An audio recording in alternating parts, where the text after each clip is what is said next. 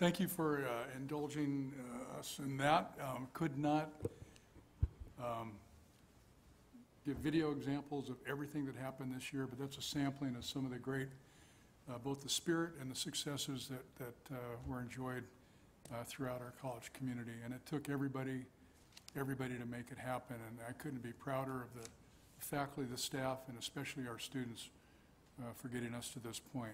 That together you, we will, uh, it was a T-shirt. We, we made a T-shirt, and, and people bought into the T-shirt and the idea, and, uh, and they did it. So, um, yeah, that's, that's my presentation for celebrating success.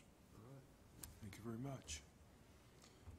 Uh, Next, we have, Uh, Mr. Chair, can we take comments? oh, yes, I'm sorry. That's all right. Uh, a- a- Anybody, yeah, comments? Go ahead, Christie. Thank you. Uh, Well, I would just like to reiterate some of the things that you've said, Dr. MacLennan, from the board's perspective. Because of our, of the administration, faculty, and staff, we were able to continue to serve over 5,000 students. That's 5,000 people in our community that got to keep going to school, got to keep moving forward. Sometimes maybe our policies seemed a little um, more than others, but it kept the doors open. We never once had to shut down completely, and that was due to the efforts of everyone on this campus, really wanting to make sure those students got to press on. So kudos to you and your team, and hopefully next year, I love those awards that we got to see. Usually, we're there helping give those out, and I'm really hopeful that next year, we're back doing that again. Thank, thank you, trustee Woods. I, I- I should add that um, one of the reasons that we wanted to show you this tonight is because a lot of our traditions and our, uh, well, our traditions, we, we really had to adjust them, whether it's commencement or the faculty staff awards, the achievement awards. Um, But out of, out of uh, the adversity does come some opportunity, and one of my great joys this year, twice now, uh, and I'm still in the middle of the second one, has been to deliver the, the um, achievement awards personally to every faculty, staff uh, member uh, for their 5, 10, 15, 20-plus year service awards. And, and it's made it a much more intimate um, interaction, and I've certainly got to know people and hear about what their struggles have been and, and, and what their achievements have been throughout the year as well. And so, um, you know, we've, we've, we've done a lot in, in that spirit to make the best out of the situation that we, we had, and, um, and out of that has come a lot of good as well. So thank you again. Are there any other comments? All right, hearing none, we'll move on to the constituent reports. The first one is ASNIC. Take a shot at this, Annie Ladowska.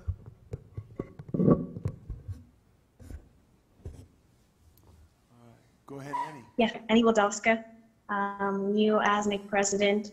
And um, you, all of you already seen what the ASNIC have did, has done for this past semester. Uh, two projects has been finished and the letter of transition for the new officers, upcoming officers for fall 2021. And um, it was a privilege for me to work with my amazing team this semester. And we also have two returning students, two new returning, to returning of the new officers as part of ASNIC group, and five more positions are open, and we are looking for amazing students to join us. So this is my report for today. Short and sweet. Does anybody have any comments or Any questions? comments or questions? Anything for Annie? All right, well, thank you very much. Uh, Next would be uh, Faculty Assembly, Molly.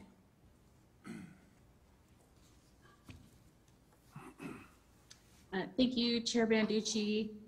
Um, Hi to the Board of Trustees, President MacLennan, and distinguished guests and visitors. Um, My name is Molly Mashad. I was recently elected Faculty Assembly Chair. I look forward to working with all of you. Um, We really don't have a lot to report. We did um, elect Brian Sigwin as our treasurer last month. Um, other than that, we just discussed uh, accreditation and Um, Some, looking forward to the adjunct faculty survey report um, coming in August. I will stand for questions if anyone has any. Any questions for Molly? Molly, I don't see any. Thank you very much. Have a good evening. Uh, Next up is staff assembly. That's Jeff.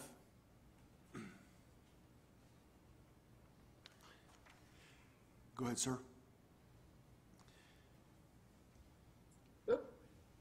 Unmute myself. Good evening. Uh, Chair Banducci, trustees, Dr. MacLennan, President's Cabinet, colleagues, and guests. Thank you so much for having me here tonight. Um, our latest meeting of the staff assembly, uh, we had the usual housekeeping, uh, as well as new employee introductions and the Sterling Silver Award, who went to Amber Haas, Senior Administrative Assistant Communication and Fine Arts Division. So proud of her. Uh, fantastic. Uh, shout outs. Uh, as usual, we always have shout outs from our colleagues, uh, which means just folks saying something nice about what people have done and people have contributed in our organization to make it a better place. Uh, we had to create, as it were, a new staff assembly executive committee. Uh, this will be my last evening as chair of staff assembly.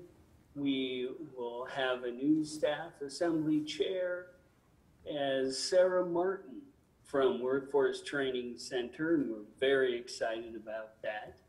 Uh, Vice Chair will be Carrie Simone from Workforce Training as well. Uh, Staff Achievement Awards nominations went through, and of course, at our yearly meeting of which all you were in attendance, we uh, were able to honor our fellow staff as well as faculty and even some administrators for their excellent work this year. Our guest speaker was a young man who goes by the name of Dr. Rick MacLennan. Uh, every year in May, we do try to include the president of the college to give us sort of a wrap up and a uh, thoughts on the college as well as what could be coming our way in the future year. Always delightful, and we were so happy to have Dr. MacLennan uh, to be able to speak to our folks. Uh, we have our usual Senate report, as well as a report from the President's Advisory Council. And for good of the order, we had a second reading of the amendment to Staff Assembly Constitution in uh, creating a parliamentarian, which was passed. And so we'll be looking forward to have a parliamentarian at our meetings. At that point, we wrapped up and adjourned. If there's anyone who has comment or question, I'd, I'd like to entertain that now. Any any comments or questions for Jeff? Uh, Mr. Chair, I would just thank Jeff for his service. It's been great working with you this year, and I hope you have a great summer.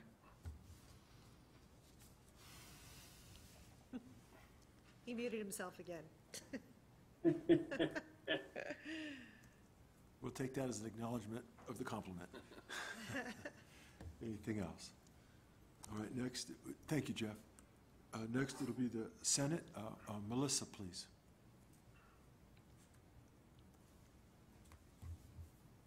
Go ahead. Go ahead if you're ready. Okay. Um, Good evening, uh, trustee Banducci and the Board of Trustees. uh, President MacLennan, and other honored guests. My name is Melissa Mooney. I am the very brand new Vice Chair of uh, Senate. Uh, we started off our last meeting with elections. Um, our former Vice Chair, Max Mendez, did not accept the nomination for chair. Um, and given discussion, we were not able to fill that. So right now, the chair spot is empty.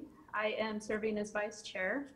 We have corresponding secretary, Maureen Dolan, and then our parliamentarian, Kristen Howard. Uh, under old business, we did an update on the board policy website. Uh, Ken Wardinsky gave us a update of that. And under new business, we did a first reading of 3.2.17, the fringes policy, and the two procedures that go with it, the employee fringes policy, retiree fringes policy. Um, those will continue on during our next meeting for a second reading. And I believe that is everything from my report. Are there any questions? Thank you, Melissa. Are there any questions for Melissa? I do not see any. Thank you very much. Uh, Next, we move on to the president's report.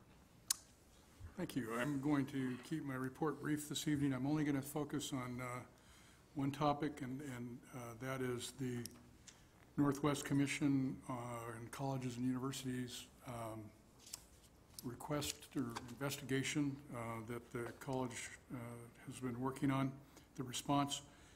Uh, And just to, to do that, I want to just set up a little bit about what we're actually responding to, the, the sort of guidance we've gotten from the commission uh, in that regard, and then um, I guess maybe some next steps. Uh, So I guess first of all, we were, we have been asked to approach this, although it's limited in scope in terms of the three eligibility requirements on academic freedom, uh, non-discrimination, and um, board governance, or governance. Um, uh, We've been asked to address those as though we were addressing a full seven-year review, uh, which is what we've done. And- And, and in doing so, because we transitioned right in, uh, our last full-scale evaluation that concluded in April of 2020 used the standards, I'll say the old standards, although they really weren't that old, um, and that the, they, those standards no longer exist. They've been replaced by the revised standards, uh, by, uh, by which we will be evaluated in our next full scale of, of skill evaluation.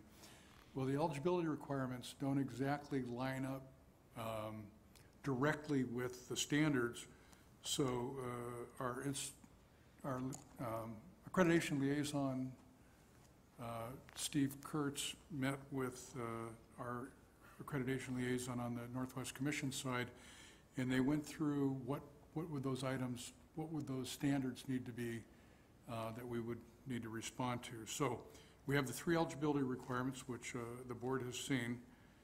Uh, And then the related standards to those, two of them line up very directly, the standards around academic freedom and institutional governance. And so those lined up fairly straightforward. With respect to non-discrimination, uh, they're sprinkled throughout other standards now. Uh, So there's standards around students' rights and responsibilities, ethics and complaints, uh, conflicts of interest, uh, human resource policies, um, working conditions, rights and responsibilities of employees, uh, employee evaluations, um, uh, retention, promotion, and termination of employees, and then um, also another section in the catalog around student rights and responsibilities. So, uh, what the executive, what the executive accreditation team uh, has done has been to review the complaint and all the documents attached to that uh, through the lens of these standards that connect to the eligibility requirements. Uh, A draft is in process. Uh, i- i- Importantly, uh, it will uh, take uh, more shape uh, once we have a better understanding of the board the board's response, which I know the board has been working on, um, although that, that group has not seen that response, so it will, by, by necessity, uh, need to adapt to uh, whatever the board is uh, producing by way of its, its statement, its commitment, its acknowledgement, uh, whatever that might look like. When, uh, when we, when we have that and we complete the draft, I will, uh, we'll be sharing it widely, but I'll most certainly share it with the Board of Trustees before we submit it. That concludes my report. Mr. Chair? Trust- Thank Trustee you. Wood, yes. Thank you. Thank you, Dr. MacLennan, for addressing that for all of us. I would just like to add, the board is working on a response, and I'd like to thank uh, trustee Howard and trustee Barnes for taking the lead on that and um, helping the board work through this process. Um, I'd also, Mr. Chair, you're under the weather, and sometimes it takes the whole board to help out here.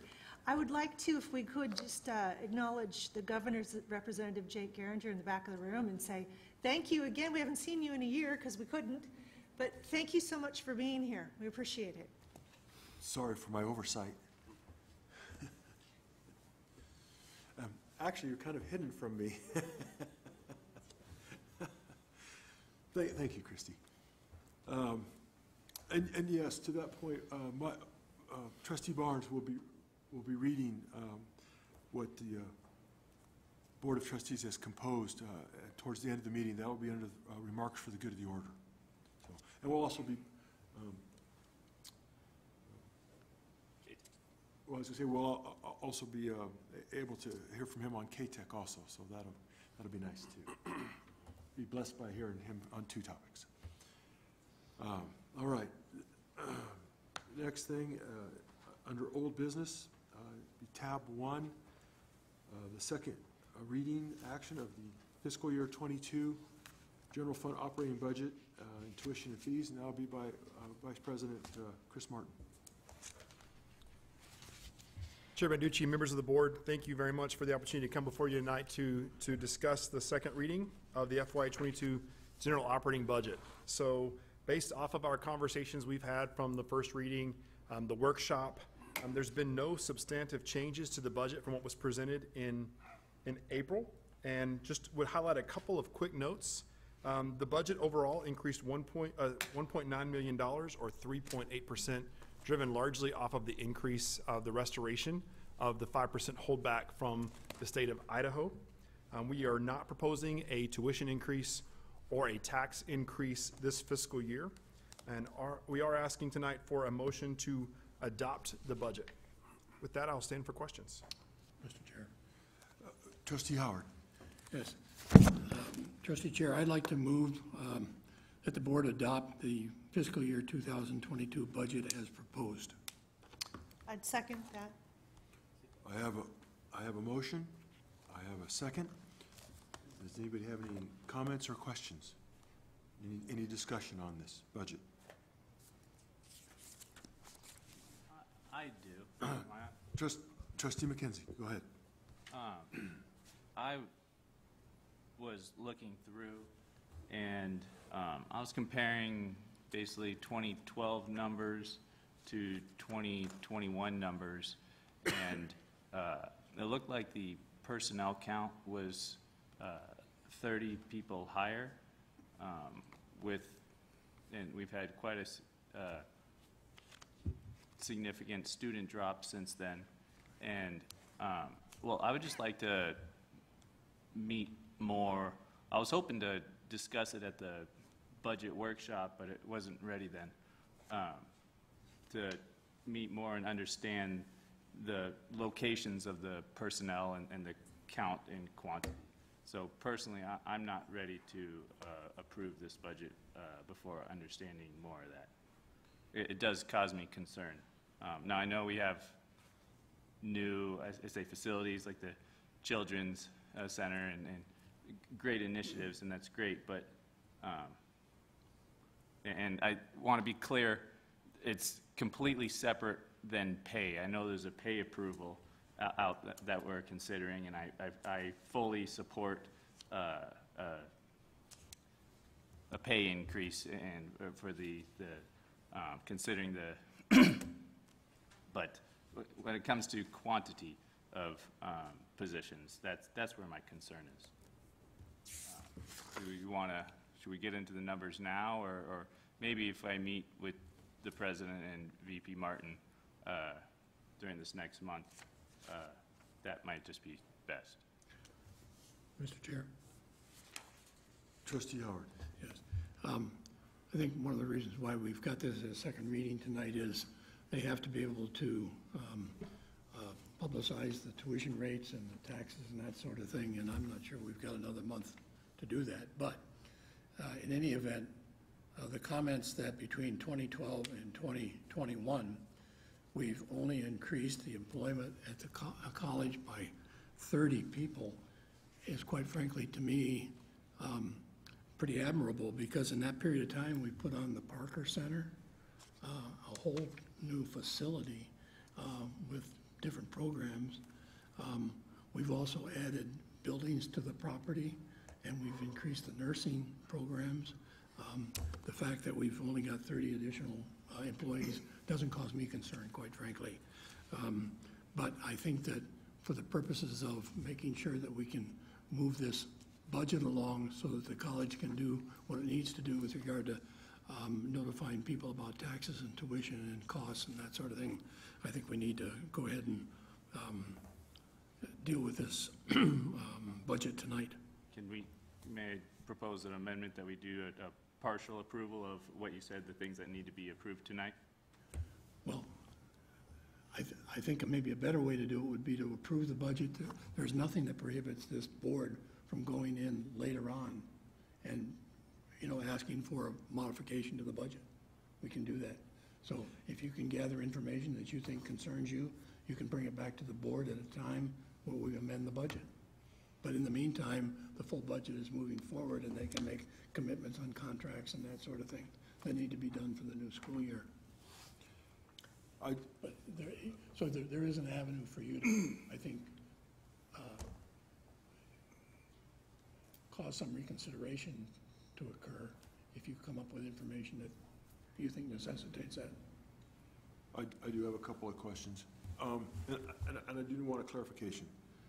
Uh, and I'm not advocating that we don't approve the budget today, but I, but in deference to the question that trustee McKenzie did ask, he is a new trustee, and it's his first time through the budget process, and not trying to contradict trustee Howard, but I believe there have been times when we have approved the budget later than the May meeting in portions, and I think we've even been as late as August over the, at least the nine budget cycles I've been through.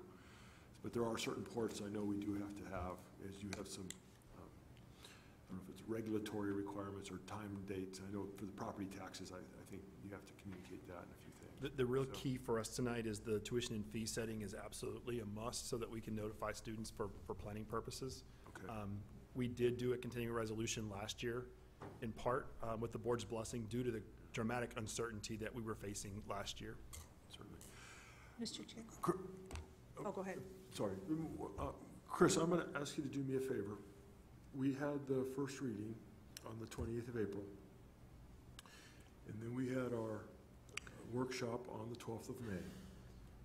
And here we are on the 26th of May. And what I think would be helpful, and I I probably, if I had thought of it sooner, I would have given you advance notice, so I apologize, don't mean to catch you flat-footed. But if you could, for the people watching, listening, for those in the community, as we go through this budget process, and we have an iterative process, you guys work on it starting in the fall, and then we do it, and you have the individual interviews with the five trustees, usually in, in groups of two and one by themselves. And then we do the reading, and we do a workshop, we do the reading.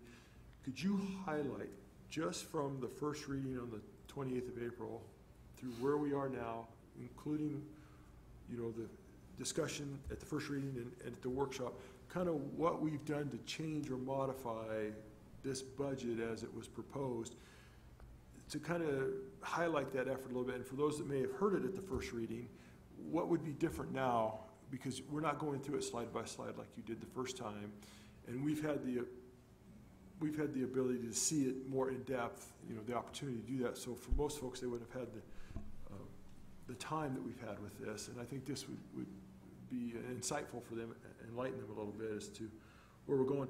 And in particular, um, because we had the compensation study, and then we had the, uh, the update that, uh, that trustee Howard and, and, uh, and I had asked for it also, I kind of seconded him we have some particular components of this that um, impact our employees. So maybe we could highlight that just a little bit. Absolutely. Um, just, just briefly, there have been minimal changes between this, and i am happy to point that out. Um, but to speak to the compensation study first, um, primarily, the college is proposing a step increase for FY22 and implementing the salary study. Um, Th that price tag came in at $428,535. Um, And that substantially impacts uh, classified employees, um, primarily through a two percent increase to those employees. And also, uh, there is a change on the faculty schedule that actually eliminates the, the bottom two steps of the faculty salary schedule. And that's the substantive changes to um, the compensation study. The other piece of that is there are approximately 31 positions, and they are primarily all classified employees in our facilities, custodial, landscape areas that, um, through this process, were found to be um, further off-market than our other employee classes. And so there is an attempt to bring those closer to market. And that's the substantive change with the uh, salary study implementation. Looking at the changes between um, the readings, Trustee Banducci, if I could.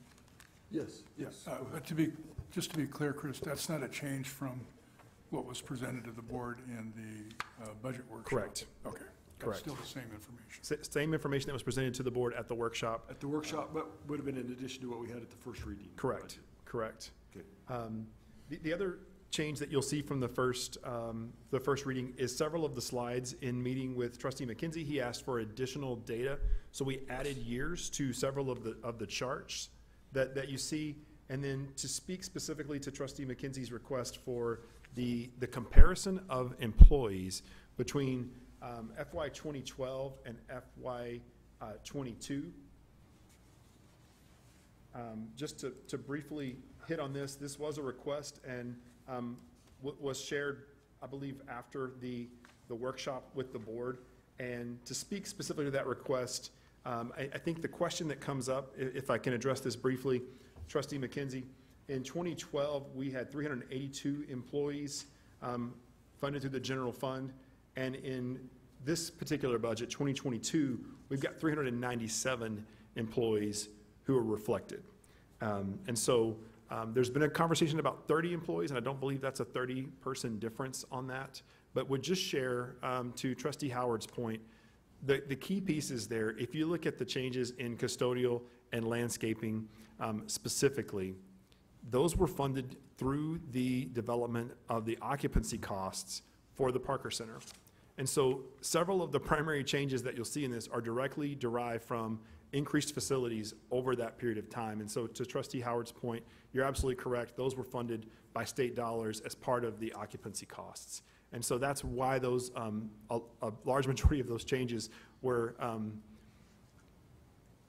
hesitate to use this word tonight, but it's the word that comes to mind, blessings from the state um, to support the facilities that the college has, um, and those were part of an appropriation. And that, those are the only changes that, that will be reflected between the first and the second reading. And Chris, uh, the number you were referencing was the four hundred and twenty-eight thousand, five hundred and thirty-five?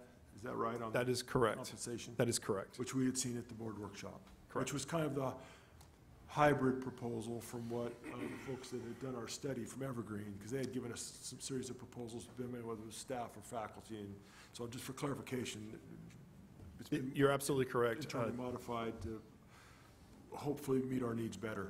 If, Correct. Chair Banducci, Yes, trustee if I McKenzie. may clarify, uh, the 30 p- count I uh, referenced has to do specifically with staff, and it goes from 220 to 249. And honestly, an increase doesn't necessarily concern me, because we have, it's a children's center now that we have, that's 12 employees, that's staff, and, and there's other categories uh, that, that make sense. But we also have a third as many students, yet we have three more in the student services.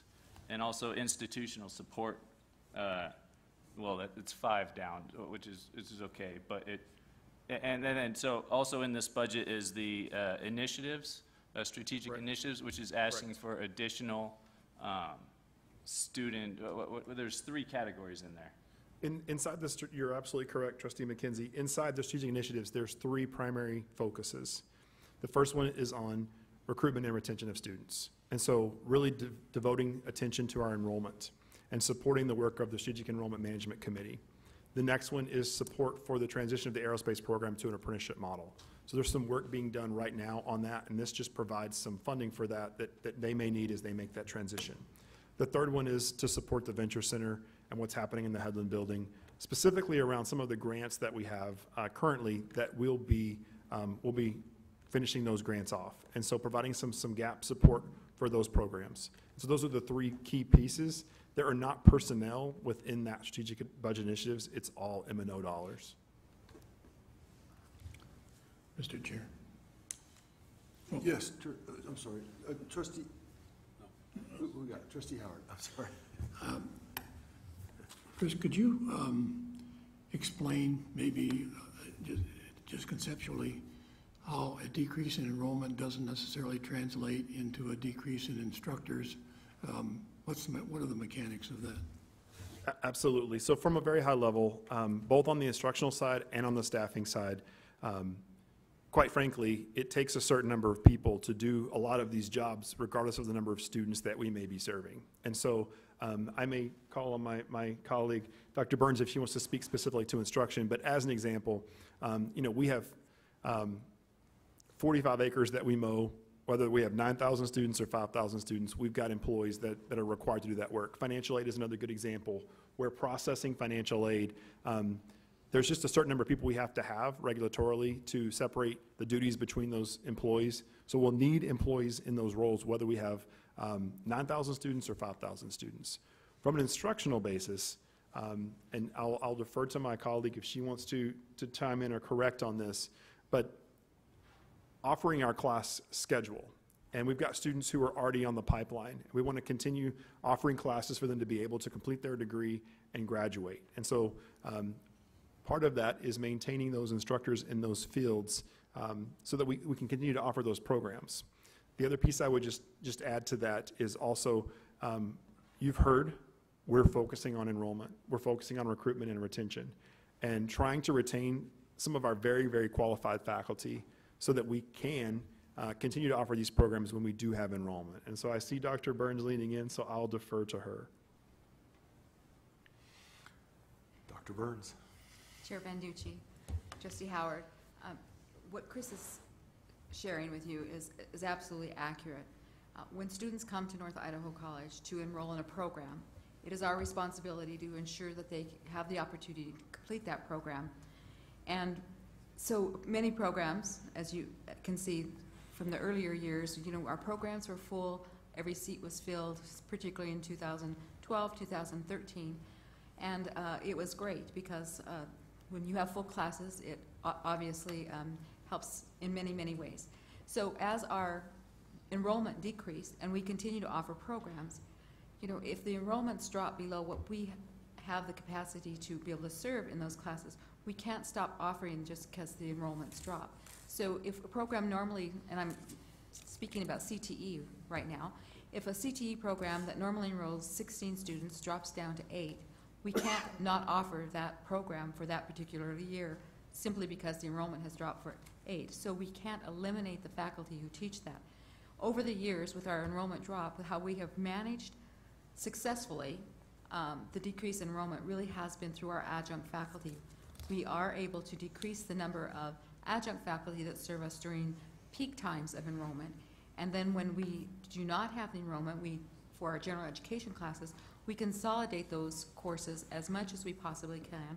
Um, Dr. Briggs will speak to this a little bit later on our agenda, um, but we consolidate um, those courses to the extent that we can, but we are obligated to offer our students um, certain courses in order for them to fulfill their program requirements and to be able to graduate in a timely manner. As you know, many of our programs are two-year programs, so once a student starts, we are obligated to make sure that they have the ability to complete those programs in a timely fashion. Chair President MacLennan. Uh, Dr. Burns, could you also talk about the programs we've added since 2012 and the impact that's had on faculty and staff? Thank you, um, Dr. MacLennan, uh, Chair Banducci. Since 2014, and I let me pull the numbers up because I had, was just looking at them, I want to make sure.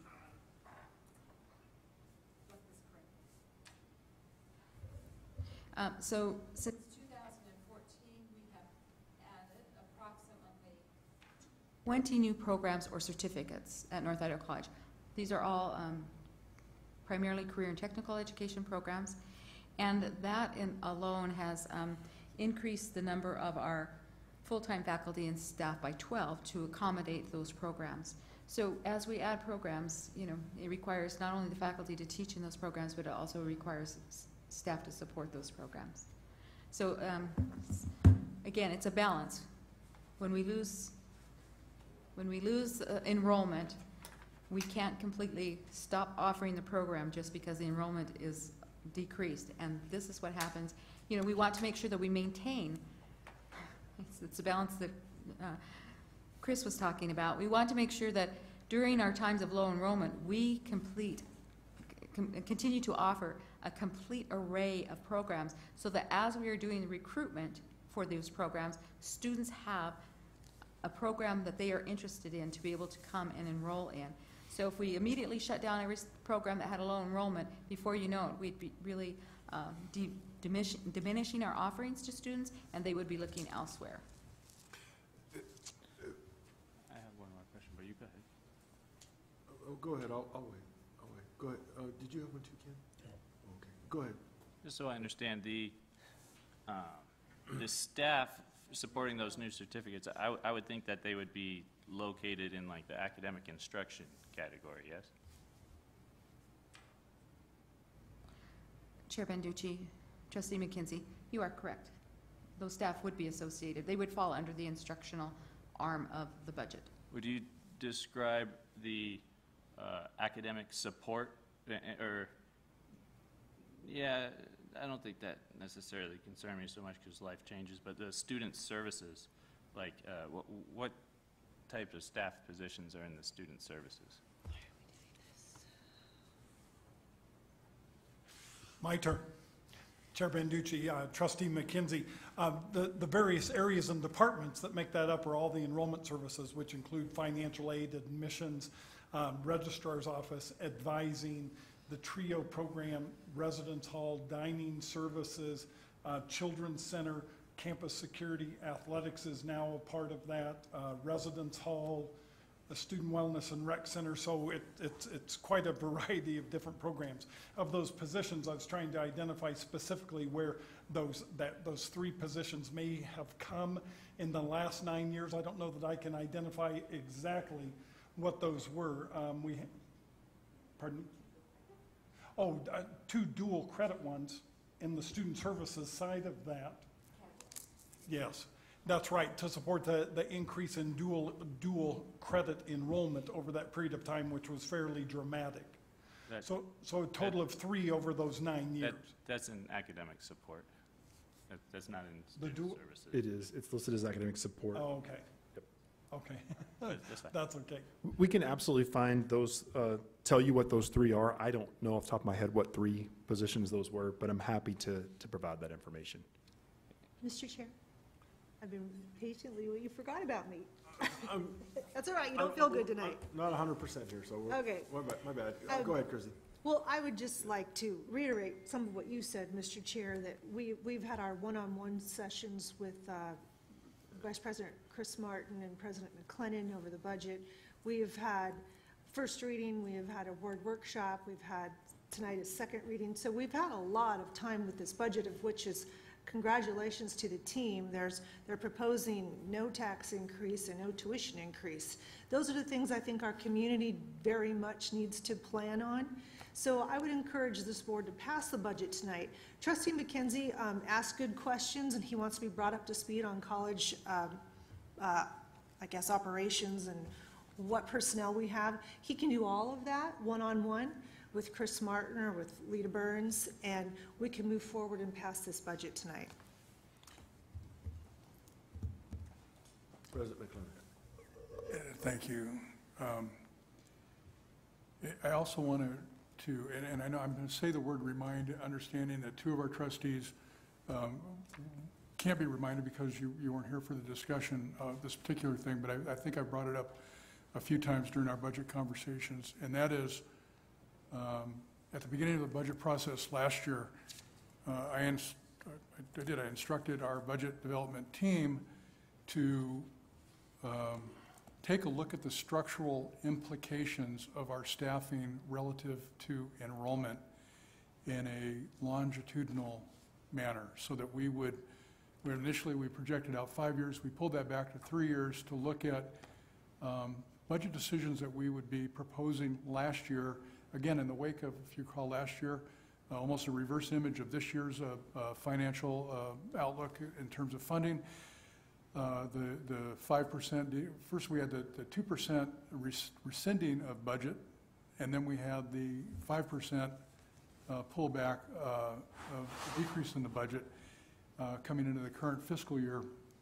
And so it was really important to me and to, to the other folks involved in this that we really make sure we're mapping out, and, and going to Dr. Burns' point, that balance of how do you, how do you keep the infrastructure in place of what you really must create? Because these new programs that we're talking about, yes, they're responsive to enrollment demand, but they're equally responsive to industry demand and statewide goals around um, sectors of industry that need to be supported through workforce development.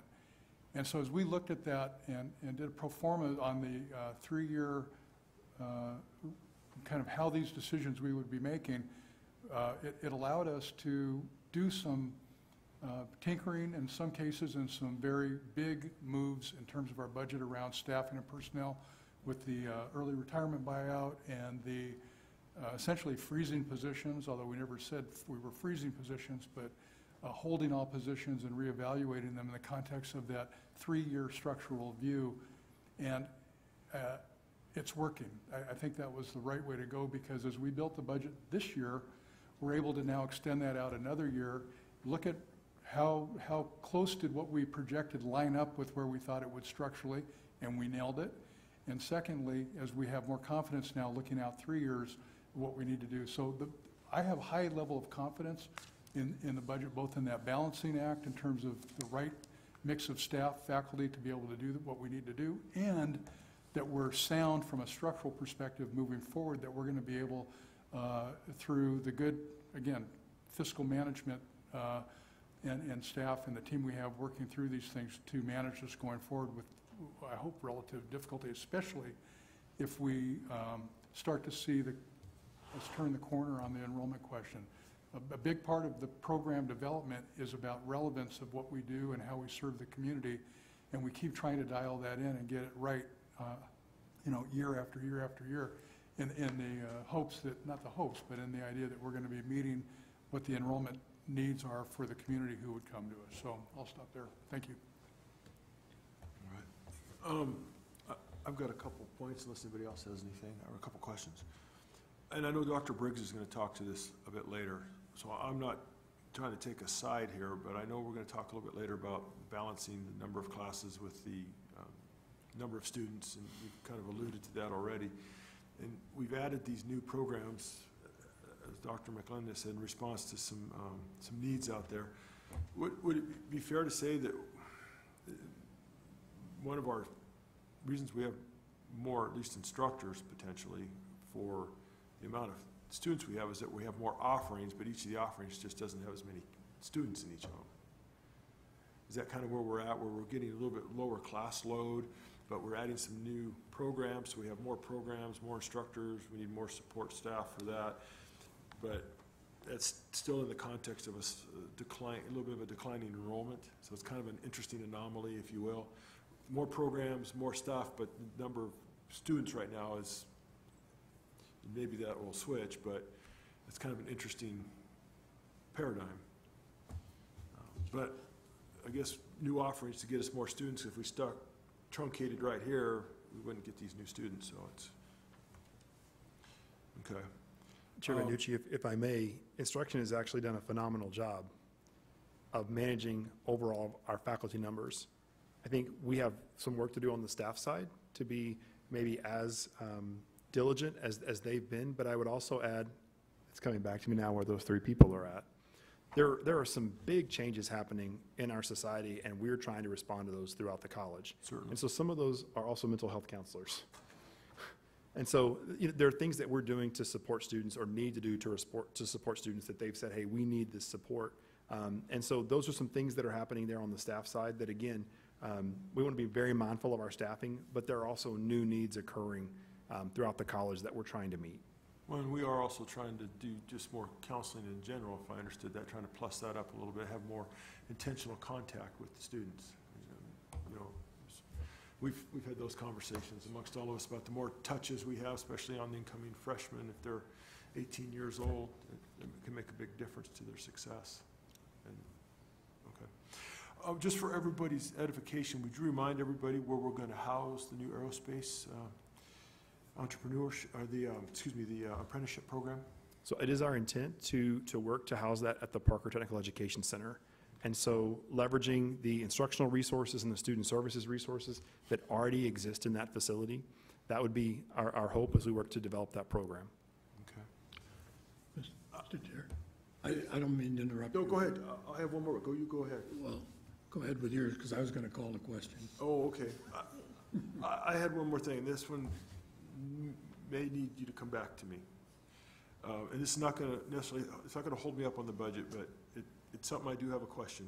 And it's an area where I, I have an extreme interest, as many know. I'm still not, I'm still not satisfied that I understand the athletic budget. And, uh, that's, that's been a concern of mine. And I, I like the fact that we went through this at the workshop, and you gave me data from 2014 through the projected slash budgeted for 2022. And I've had some questions about, you know, the ramifications and the impact of both financial, seat time, all the rest of that, from our transition from the SWAC to the NWAC with the majority of our sports. And as, as I look at our budget, and I look at um, where we're at now, and I see total, I'm just going to focus on the total expense side, that's a way to kind of look at it. Um, We were at 2.5 million in 14, about 2.2, 15, about 2.2 in 16, about 2.1 in 17, about 2.2 in 18, about 2.2 again in 19, all within, you know, round off error. And about 2.2 in 20, which, which was kind of a hybrid funny year, and we had commitments and expenses. And of course, 2021 is a bit of an aberration, how that's going to work. Now, on the, and, and I came in at about, what, 1.2-ish. When I'm looking at the budget in 2022, I'm looking at about 1.5 and change. And I guess I'm, I'm curious, at some point of, where am I, where am I making a difference of about $700,000 in, in my expense side of what I'm doing? And, and where, where is that impacting my athletics? And where, where, and where have we possibly not having as many opportunities to compete, or I don't have the, as much staff, coaching, assistants, things like that? You know, the, the revenue side is, is, is a big unknown right now between the Booster Club and donations and what we get at the gate. You know, we charge a few bucks for wrestling and volleyball and basketball, you know, that sort of thing. I- I don't, I don't think anything comes in for softball or soccer or, or, or golf or, um, and, or cheer or whatever, that sort of stuff. Um, And if- I could be wrong, but I think we have a few revenue sports and a few non-rev sports. Um, So, so where, where am I, where am I, where am I losing seven hundred thousand dollars for my athletics? So trustee Banducci, I am happy to, to work with Dr. Stanley and sit down and talk in full about the athletics budget. Um, I don't, I'm not prepared to do that tonight and go detail to detail tonight through the athletics budget. But there are some, some key things I would just point off, off the top. We've made some significant changes over the past two years with the NWAC. Um, and some of those have to do with our grant and aid and how we are um, awarding grant and aid. And so I want to give Dr. Stanley credit for this. We all remember some tough times with the NWAC, and this is our final transition year of making sure that we are in alignment with how all the other colleges award their financial aid to their students for athletic scholarships. And so there's a piece of it that is there. Um, There are some other details in there, um, I believe regarding some travel and, and some of our staffing. Um, But I, I would be happy to sit down and talk about that in detail with, with Dr. Stanley and, and whoever would. Is the net result, though, it's been a reduction in grant and aid to our athletes? There's been a change in how we have done that. That's absolutely correct. To be in alignment with the NWAC regulations. And so part of what, what some of our challenges were over the years were how we were awarding grant and aid. And so this is our final year, the year that we're in right now. Going forward, we'll be completely in alignment um, on a parity with how other colleges throughout the conference award their athletic grant and aid. Even those in, in Oregon, because I had understood there were some discrepancies.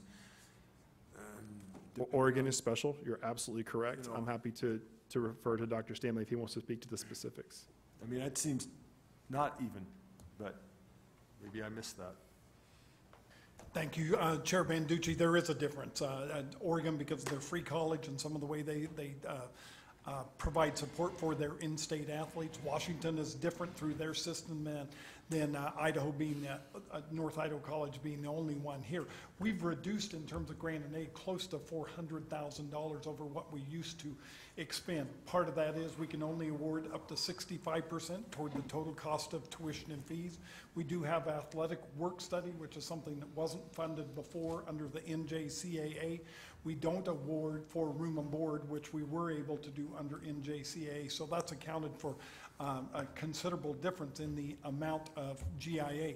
Also, the limit on the total number of awards under NJCAA, you could scholarship 15, for example, in basketball. In uh, the NWAC, you can scholarship up to eight. And so in all the programs, there's a reduced number of scholarships that you could give in each one of those programs, with the exception of wrestling. That hasn't changed, as you know, as it's continued to be under NJCAA. So there's a considerable difference uh, in the amount that we're spending on GIA uh, to your question earlier. We're really glad to, and we've had conversations about this at a later date, present that information to the board, along with, you've asked questions about travel and days missed and all of that stuff. We're working on that information and glad to present it in the future at the board's request. Okay, I appreciate that. Well, as I look at this budget, and if we're sound, I, I see things, uh, I've mentioned this previously, and I'm reading the local papers, I'm reading uh, the headlines. You know, one of the things that's sweeping the country right now, it seems, is, is women's wrestling. High school is being sanctioned and throughout many, many states. And many, many colleges have picked it up. Uh, They have sanctioned tournaments now at the, at the, uh, at the end of the season. Obviously, women's is an Olympic sport. So, I mean, for example, if we're working on, on advancing programs and adding that, to me, that's pretty low-hanging fruit. Seems like a women's wrestling program would be a natural. But, you know, stuff like that. would- Before the question is called, I have one more question. What- Sorry, ahead, Ken. Barry. No, that's right. And that, that's all I had, but thank you. But I would look forward to the other addi- additional information. We information. have a question down the end here. Is, Trustee McKenzie. sorry that this topic is lasting, what seems like an eternity. Um, Is, is the salary study value amount, are each of the trustees content with the detail provided? Because I, I feel like most of the times it's, it's a final amount that's been presented. And I feel like it's been modified based off of the salary study. And I, I feel like the details um, haven't been in fully, at least, um, explained to me at least. Chair Chair you- Banducci, you- trustee I can McKenzie. ask Ken, you seem to, I, I, I'm comfortable with the budget as presented, and that includes the resolution by the administration of how they should apply the salary study. Um, I suspect everybody can have questions about the salary study um, that was done, but I'm, I'm comfortable with the way it's been incorporated into the budget. Okay. I would like to call a question. May I make one comment quickly? I I mean, well, there's, there's a page from the compensation study update, maybe at some point, um, could elaborate on that for trustee McKenzie as to the allocation of those percentages and those numbers to, where we got to the four hundred and twenty-eight thousand and change. Uh, Chair Banducci, trustee McKenzie, um, our chief HR officer went, went through that at the, at the board workshop. And so I, I want to apologize because I may not be as versed as she may be on this topic. I topic. wasn't gonna have you do it now, Okay, not now. but happy to sit down again with Karen and, and myself and, and if that's the will of the board, we can go through that again or with trustee McKenzie, happy to do that. All right, thank you. All right. Um, Trustee Howard, you're calling for the question. I did, Yes, Sir, thank you. so we call for a vote now. Yes, sir. We are going to call for a vote for the approval of the proposed budget. All those in favor, please say aye. Aye. Aye. And uh, Chair also says aye. I believe that accounted for everybody. Anybody says nay? Passes five to zero. Thank you, Chris. So much.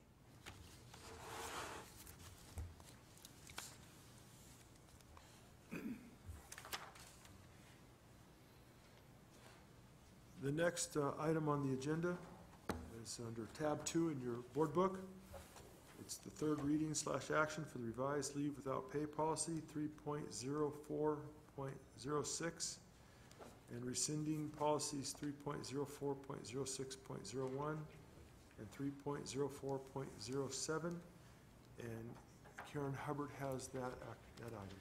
Uh, Chair Banducci, I'm going to go ahead and take that one for Karen. Okay, very good, Dr. MacLennan. Her name is there, she's the one who brought this to the uh, board initially. As you recall, we had substantial discussion about that. Last month's board meeting, trustee Barnes was uh, not able to be present for that discussion. Um, At uh, at one point in the discussion, I indicated to the board that I would be bringing this policy back in the, in the form that it was uh, presented uh, without any, without any changes. The only item of discussion for change was the, uh, the approval uh, uh, resting with the administration and uh, some interest on the part of um, some board members to have that uh, decision-making reside with the Board of Trustees, uh, either as a board as a whole or uh, as a delegated um, responsibility to the board chair. Um, I um, am bringing this policy back in, in the original form uh, with the approval uh, intact uh, residing with the administration. Um, And um, I will leave that there. That's um, uh, bring back to the board uh, for approval. Thank you. All right. Mr. Chair. Trustee Howard. Yes, I'd like to make a motion to approve the revisions to policy 3.04.06 and approve the elimination of the policies 3.04, .06, .01, and 3.04.07. Second. Who was the second? Okay. I have a motion and a second. Do I have any discussion on this policy? Mr. Chair? We discussed this at length last meeting, and we went into the different um, concepts of, of where this policy belongs. And at first reading, I was a little hesitant, I wasn't quite sure direction I wanted to go, but after listening to Karen Hubbard and certainly trustee Howard made some good points, this clearly does fall into operations. Um, Trustees would really never have any role in determining a leave without pay for an employee. We wouldn't be brought into their personal circumstances, it's just not really the purview of the board, it's an operational decision. So that swayed me, that this belongs squarely under operations. And I'm good with the amendments.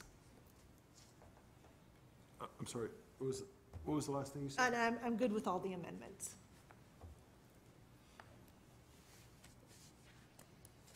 I would just like to say, Uh, Trustee McKenzie, go ahead. thank you. I would just like to say that 20 years ago, when this policy was written or so, that other people thought it was just a good idea and, um, or a good idea to include board input and board oversight. And so the fact that nowadays people think it's good to not have any board input or board oversight in this one category. It, I would just like to state that I I view that as everyone's welcome to their opinion. And, um, well, from, from my reading and based off the policies and how I've seen communication and things enacted, I, I would just like to see, uh, the board included in, um, the policy draft. All right, thank you. 'Cause That, that's really the, Okay. Are there any other comments or questions? You know, Christie, I, I've had some reservations about it too. And I'll confess, I still do though. I, I kind of put this in the same category as sabbaticals and, and a, and a couple other things. And I think they, they rise at least to the interest of the board, or at least to be aware of what's going on. It's just, I guess, an interesting broad definition of just oversight. And there are other things, so I, th- I think I see where we're gonna go here on the vote, which is fine, uh, but I, I felt compelled to say that. There's still some things, that I, I don't think it's in error to have the board involved. We are accountable, you know, I opened up the newspaper the other day and I see Chris Martin's face and I see front page above the fold and I see another one. Man, I had no idea that article was gonna be a paper that day. I see another article prior to that that says, we, we got this agreement with the city of Coeur d'Alene, and we're gonna use our parking lot, and they're gonna fill the potholes and make that good, and they're gonna use that for parking this summer. I had no idea that article was gonna be in the newspaper. There's a point where if we're an elected board and we're to have oversight of this institution, A, we have to know what's going on, and B, we need to be engaged and have some interaction on this. And, and equally important, anything that's newsworthy for the public, if, if I'm gonna wake up in the morning and I'm gonna see it in my newspaper, or see it on my email, or see it on my phone, I wanna know about it. So, and, and some of these other things, you may not think they're newsworthy, but people are watching and people note those things. And when times are tough, and, and I, I'll use sabbaticals as an example, some people have differing opinions of whether those are appropriate or not at a community college. But people do notice they're going on, and if enrollment's down, and depending on the budget, and a lot of education institutions got bailed out this year with a lot of CARES money. Schools didn't have to run the buses, and there was lots of things. So it was an interesting year from, from a money standpoint, a lot of federal money. But they still look at it as, are these appropriate expenditures? And so they are watching all these things, and, and- they will hold us accountable as the elected officials, so. uh, Mr. Chair, There's my thought. Not- Mr. Chair, done. could I have one more? comment? Certainly. Thank you. Well, I think, I think, Mr. Chair, you've kind of commingled a few things there. And as far as being aware what's on the front page, I would agree with you. We, we, it's good, always good to know that. I, I do think our information officer has had an awful lot on her plate lately and hasn't been able to keep up with a lot that maybe you'd like to see. But it's a little bit totally different argument than this policy. This policy is clearly about operations, and would the board ever individually or as a group decide on a leave without pay issue with an employee? And no, we wouldn't. Um, as far as the agreement with the city, I will say that I first saw it when I went to my council meeting, and, um, I, I was pleased that we have such a good relationship. We continue with the city working together. Well, I'm not saying it's good or bad. Yeah, yeah, but, um, but, uh, it would be good to know in advance sometimes, and it's gonna be hard, though, to push out every single little operational decision that somebody makes, because that is clearly an operational decision on whether we use a parking lot for parking, and that's not gonna come to the Board of Trustees. So I would just say, try to delineate between policy that was in front of us and other ideas about communication. President MacLennan. Uh, Thank you. I, you know, I- I, s- I didn't even know the article was going to be in the paper on the, this guy over here, but um, it was good news. And, um, you know, what I've, you know, I don't, uh, yeah, I don't always get it right because I don't always know what's coming. Sometimes uh, the media surprises even me a little bit. Um, But if it's, and you will recall, I recently sent you a communication over the weekend that I thought there would be uh, something in the newspaper that might have an adverse impact on the college or the perception in the community of the college, and I wanted to make sure the board was aware of the potential of that uh, article being there. I had no input into the article, I wasn't interviewed for the article. Uh, I just knew that it was potentially going to be there, and I gave the board a heads up on that. And that's a commitment that I'll continue to do. I don't think I'll always be able or ready to uh, forward kind of the good news uh, to the board. Um, I I suppose I could try to do that, or have uh, our communications department do a little bit more on that. Uh, But certainly, if there's something that's going to ride to the board, uh, uh, concern and input from the community about something adverse or potentially negative impacting the institution, I do my best uh, to, to get that information to the board uh, before it becomes public, and I'll continue to do so. Well, on that note then, I appreciate that, but then we'll note the caution then. One, Talking about what the budget's gonna look like and what we're doing, and we're not gonna have taxes or property tax increase and or tuition increases and all the rest of that. Until we've actually signed off and approved the budget as a board, maybe that conversation can wait with, with the media so that We have a, it kind of puts us in an interesting spot when it's already been out there and this has said what we're gonna do, and then we haven't voted on it yet. Mr. Chair, point of information, Yes. um, is all this discussion pertinent to whether or not we're going to vote pass this? You know, at this point, uh, Michael, I'm not quite sure. We've kind of gone a couple different Call for ways. question. with some if I different could go back to, uh, we can, we can. Well, uh, it's all right. We, we're gonna, we're gonna take the vote. Question's been called. That's fine. Um, All those in favor of approving the new revised leave without pay policy three point zero four point zero six and rescind policies three point zero four point zero six point zero one and three point zero four point zero seven, please say aye. aye. Aye. All those opposed, please say nay. Nay. I vote nay. Motion carries three to two. Policy is approved. Next item on the agenda is an information action item. It's the board conduct policy. It is trustees Barnes and Howard. Mr. Chair? Go ahead, sir. Um, The board has recognized um, the concern by the college faculty and staff, as they've expressed in the past in their uh, letters to the board. And um, part of that concern was um, the rescission of policy 2.01.10 in November. And we've listened to the concerns of the faculty and staff and constituents of NIC. And we're going to offer the readoption, or I'm going to offer the readoption of 2.01.10 with some amendments. And the amendments um, are, uh, the only amendment is under the paragraph entitled Interaction with College Personnel Guidelines. And the amendment is the inclusion of the following language. Board members should be afforded confidential communication with NIC, with the NIC community, and nothing herein shall be construed to prohibit or discourage communications between board members and members of the faculty, staff, administration, or community. So, Mr. Chair, I would um, make a motion to adopt uh, policy 2.01.10 with those amendments. All right, thank you. Do I have a second? I will second it. All right, I have a motion and I have a second. Do I have any discussion? I would Mr. like Ch- to add my comment, Mr. Chair. Please, trustee Barnes. Uh, We all recognize that uh, there was a lot of uh, contention with uh, uh, this policy late last year. And um, we are all in agreement that uh, a lot of work needs to be done, and we are committing to address our differences in this uh, very rapidly. So while we're voting to do this, we also recognize that there is much work to be done to perfect this policy that affects primarily the board members.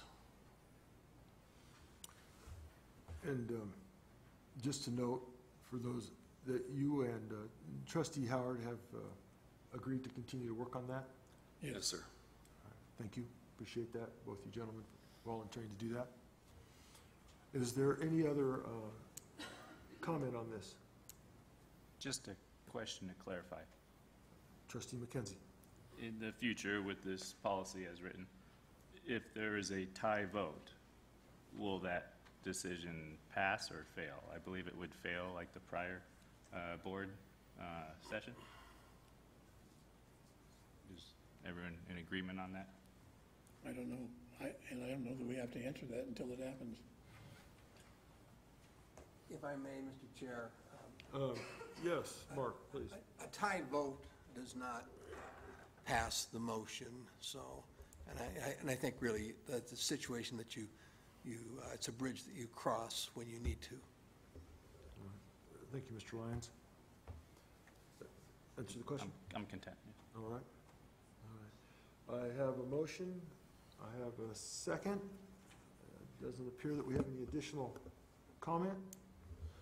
All those in favor of reinstituting the uh, board conduct policy as revised, uh, please say aye. Aye. Aye. Aye. Aye. All right, we have, uh, m- anybody nay? We have five ayes, the motion passes five to zero. It is approved.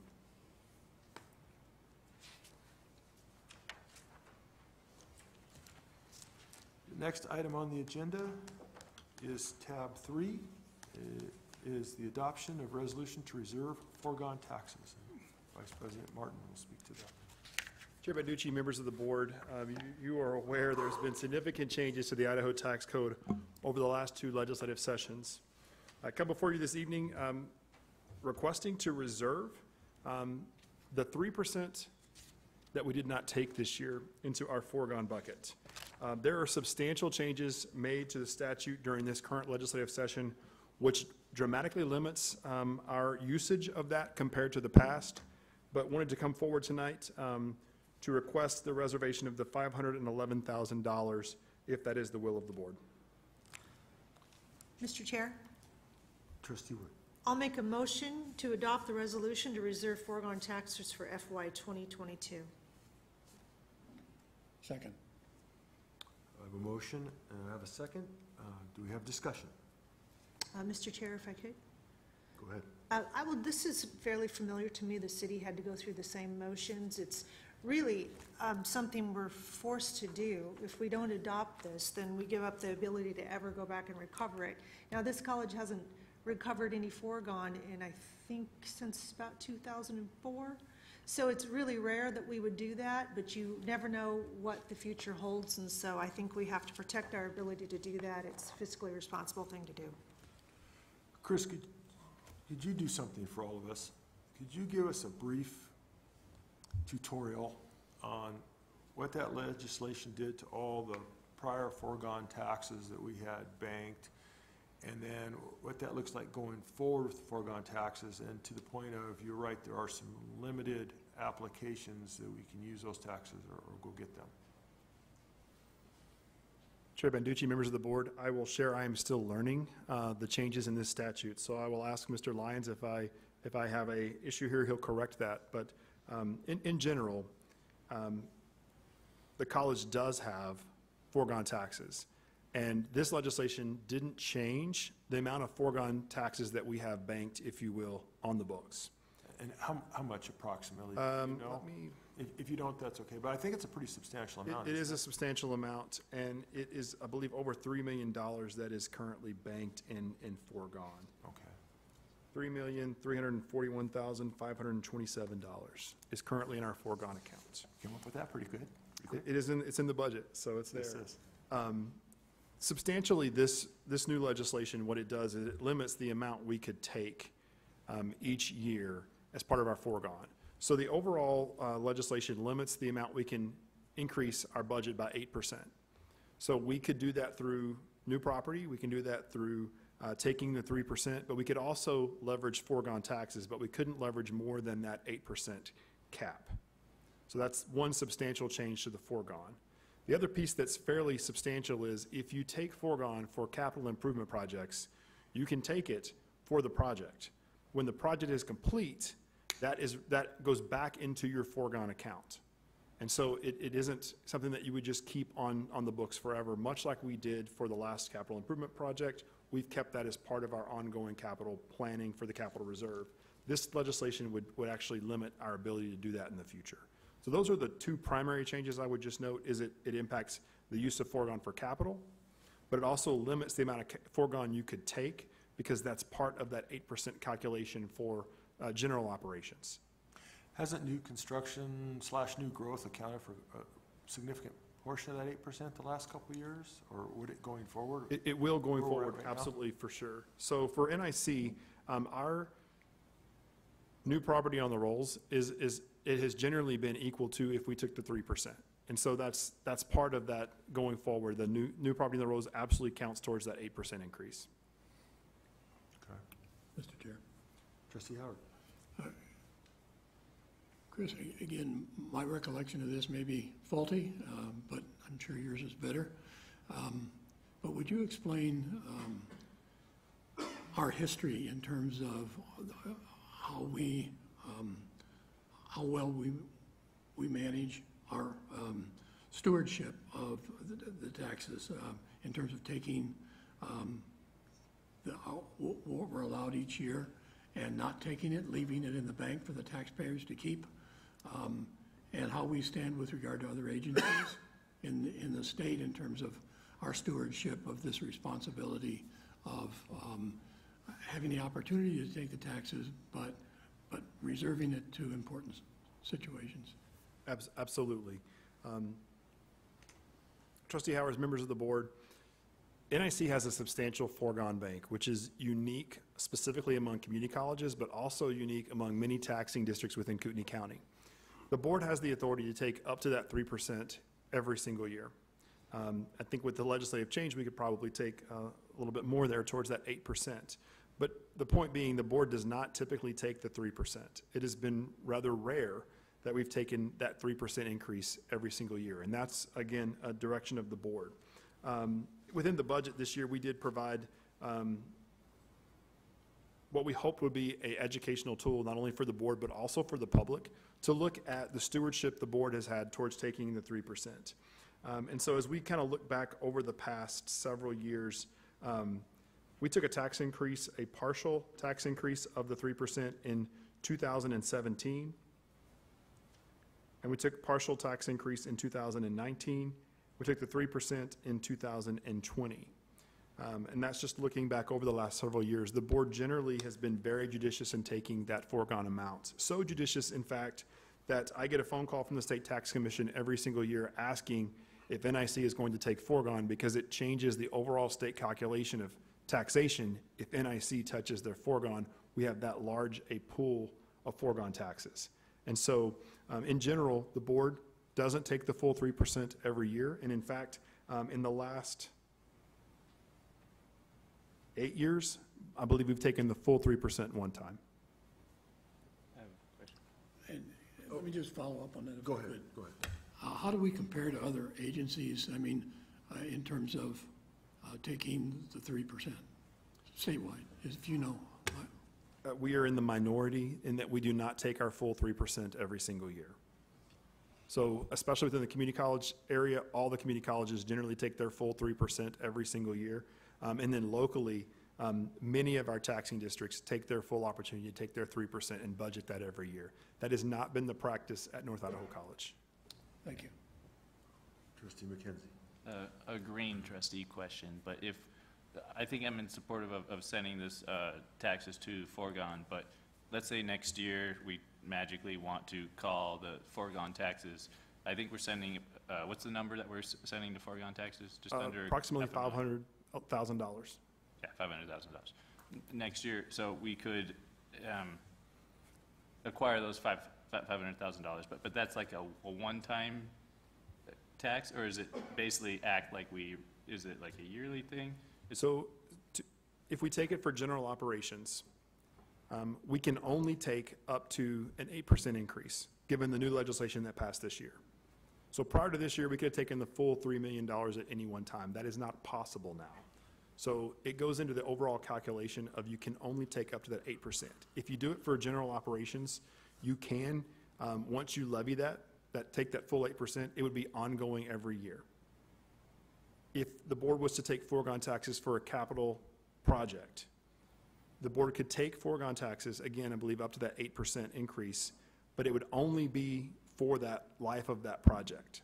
And when that project was completely built, it would go back into your foregone bucket and reduce the overall taxation levy for the district. Money would, or the taxation amount? Both, both would. So we would reduce our levy by the, the same cost of the foregone increase for capital. We would take that off the rolls, and so it would actually re- reduce the overall tax burden to taxpayers. The levy would reduce by the amount that expires on the capital portion of the use of foregone. I think, to clarify me, I think it's page six of thirty. Could, um, let's just pretend, like, Yep. next year, we're gonna take the full eight percent of foregone taxes. Could, could the te- levy rate and, um, could that get updated as if we were gonna, just, just like, just help me understand the A- foregone Absolutely, taxes? so. Does that make um, sense? It does make sense, and I think that's a great point. If it's okay, let me just pull this up so we can all see it. Sorry to make the meeting longer. Trustee McKenzie, I think one thing just to share tonight, um, you're not alone. This is, um, it's actually all new to everyone this year because of the way the legislation changed. Give my hand.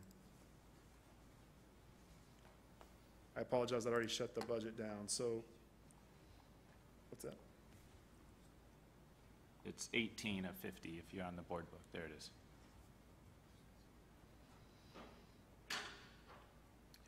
So to trustee McKenzie's point, um, if we look at the FY 21, excuse me, FY twenty-two, and then look at FY twenty-one here, um,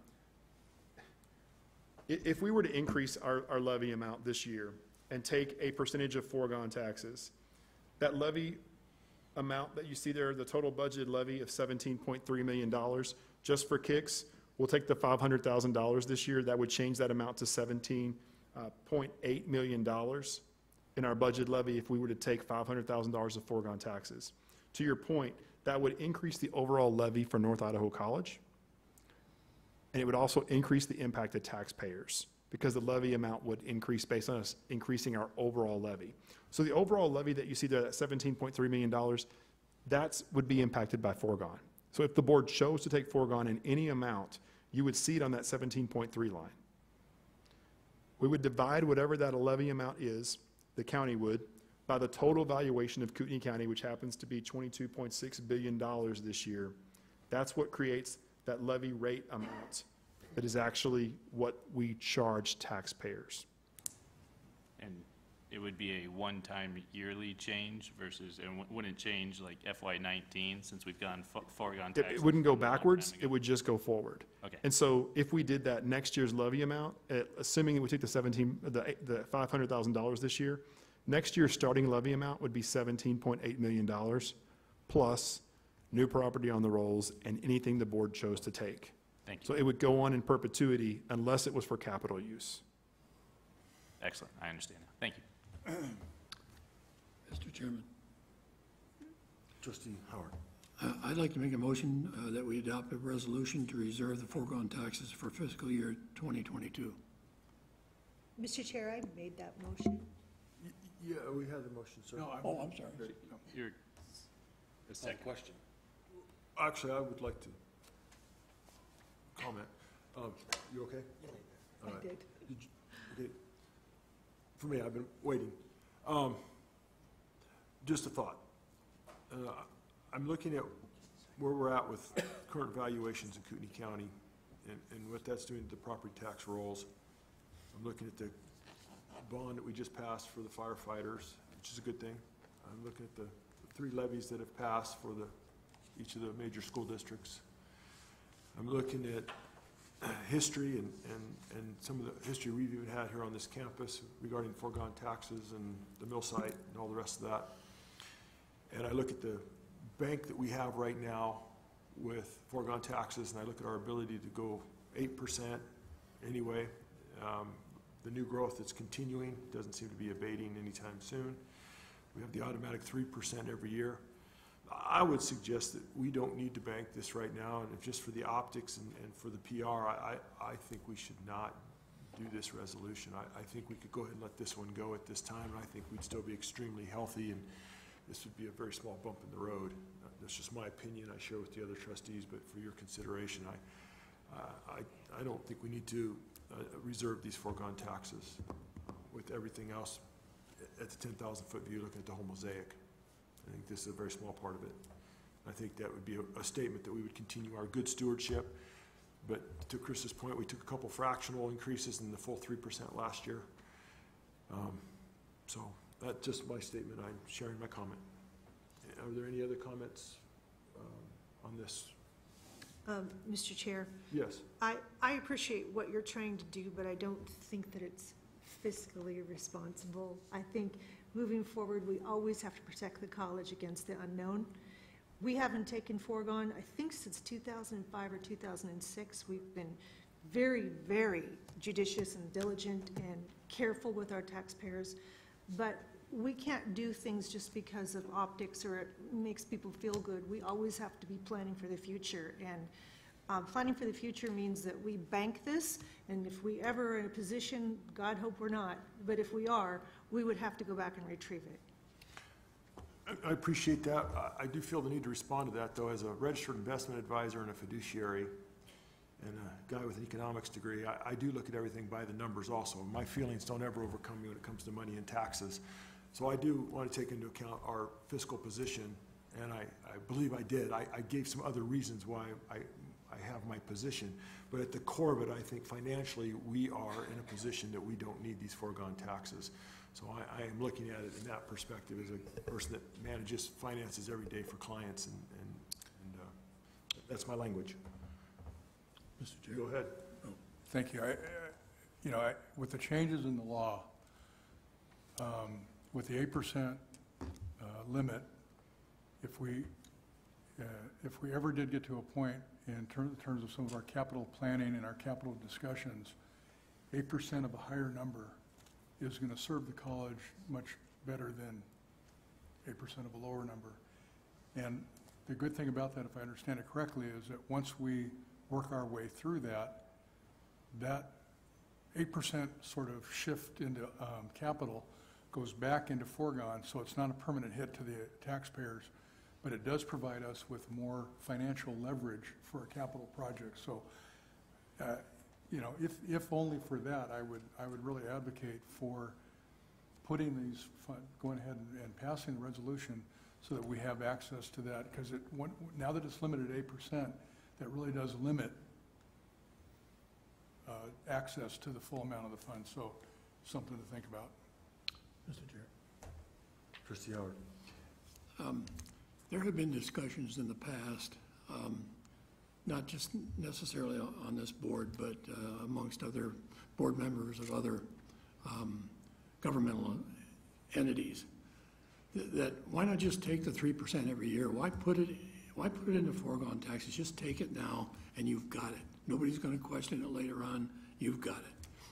Our philosophy has been, no, the taxpayers are entitled to keep this in their pocket if we don't need it right now. And when we do need it, then it's there for us to use in a judicious manner. And I think we've experienced and, and illustrated a, a strong stewardship of our responsibilities in not taking foregone taxes except in extreme circumstances. And this is something to protect NIC um, and also to protect the public uh, by not taking uh, the, the, the, uh, the allowable three percent every year. I mean, that would be an alternative, quite frankly, to take the three percent and put it in a capital account, and then you could do whatever you wanted to do with it. I think what we're doing by just reserving it is a responsible thing to do with regard to the taxpayers of this county. Thank you. Can I call a question? Certainly, sir. Okay, call the question. Question has been called. We will take a vote on the action, adoption of resolution to reserve foregone taxes. All those in favor, please say aye. Aye. Aye. All those opposed, say nay. Nay. Nay. I will add my nay to that. It does not pass, defeated three to two.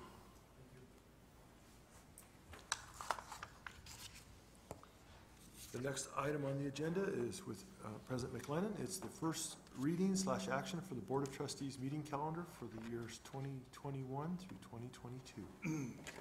President MacLennan, please.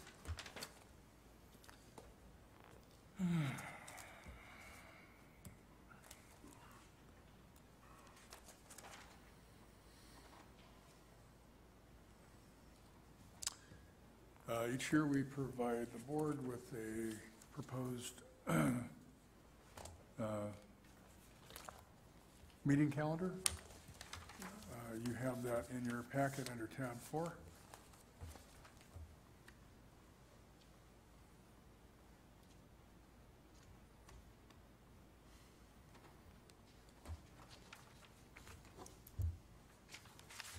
Uh, Mr. Chair, I'd make a motion to adopt the calendar as presented. Okay, I have a motion. Do I have a second? Um, I would second it if we can get an amendment that we forego the second reading in June. I would make that amendment.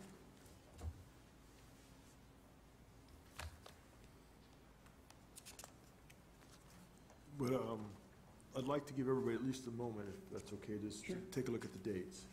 I think we've had our board book, but I just want to make sure everybody's had that opportunity. I know we've made a couple of accommodations in August and in November and December, um, or a little bit of a different day. So I just want to make sure everybody noted that, and if anybody needed to take a quick glance at a calendar, just to make sure.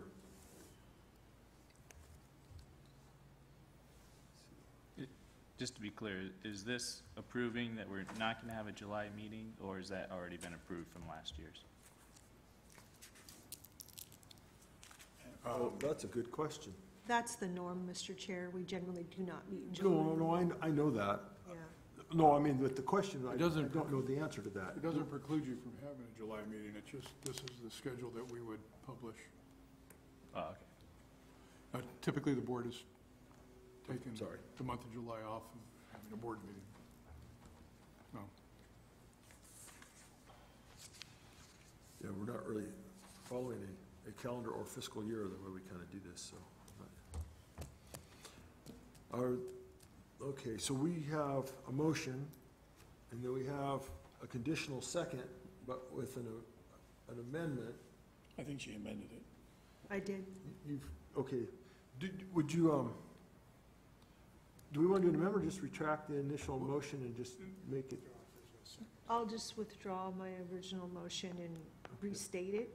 Yes, that's what I was thinking. Rick, did you have a? a uh, n- No, I, well, I was just gonna say that we put this on the agenda as an infor, or as a first reading action to provide for action being able to be taken if the board desires to do that. Oh, thank you, Rick. That clarifies. I don't need to amend my motion. We can take action.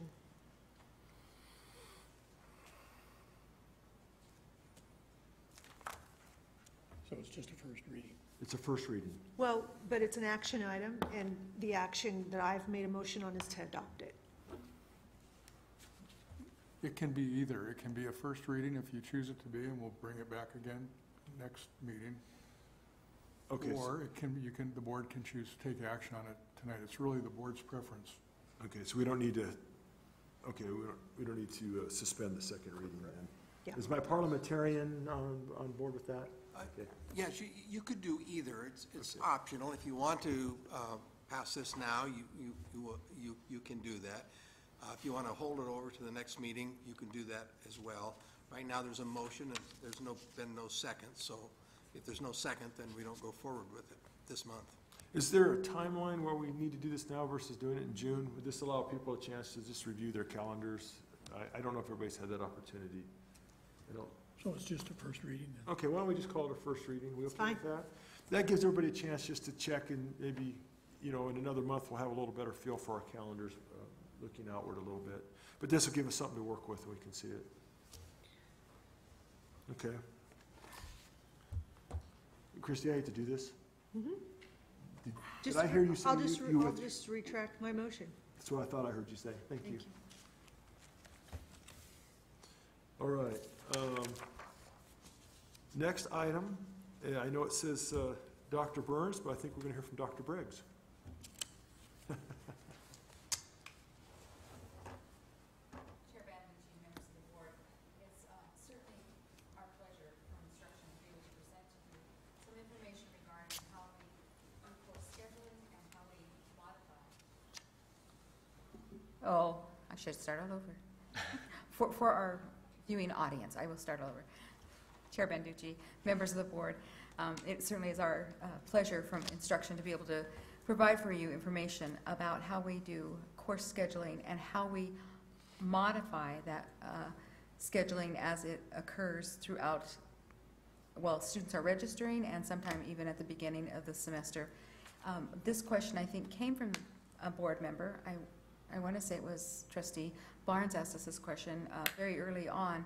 And uh, because of the heavy agendas that the board has had, we were not able to present it. So although it might seem um, not as timely as it was uh, when we, it was, the question was originally asked, actually, um, I think it's very timely because we are in a registration process now, anticipating enrollment in the fall, and certainly we'll be looking at um, making adjustments to the, the course schedule as we move forward. So with that, I would like to welcome um, Dr. Larry Briggs up.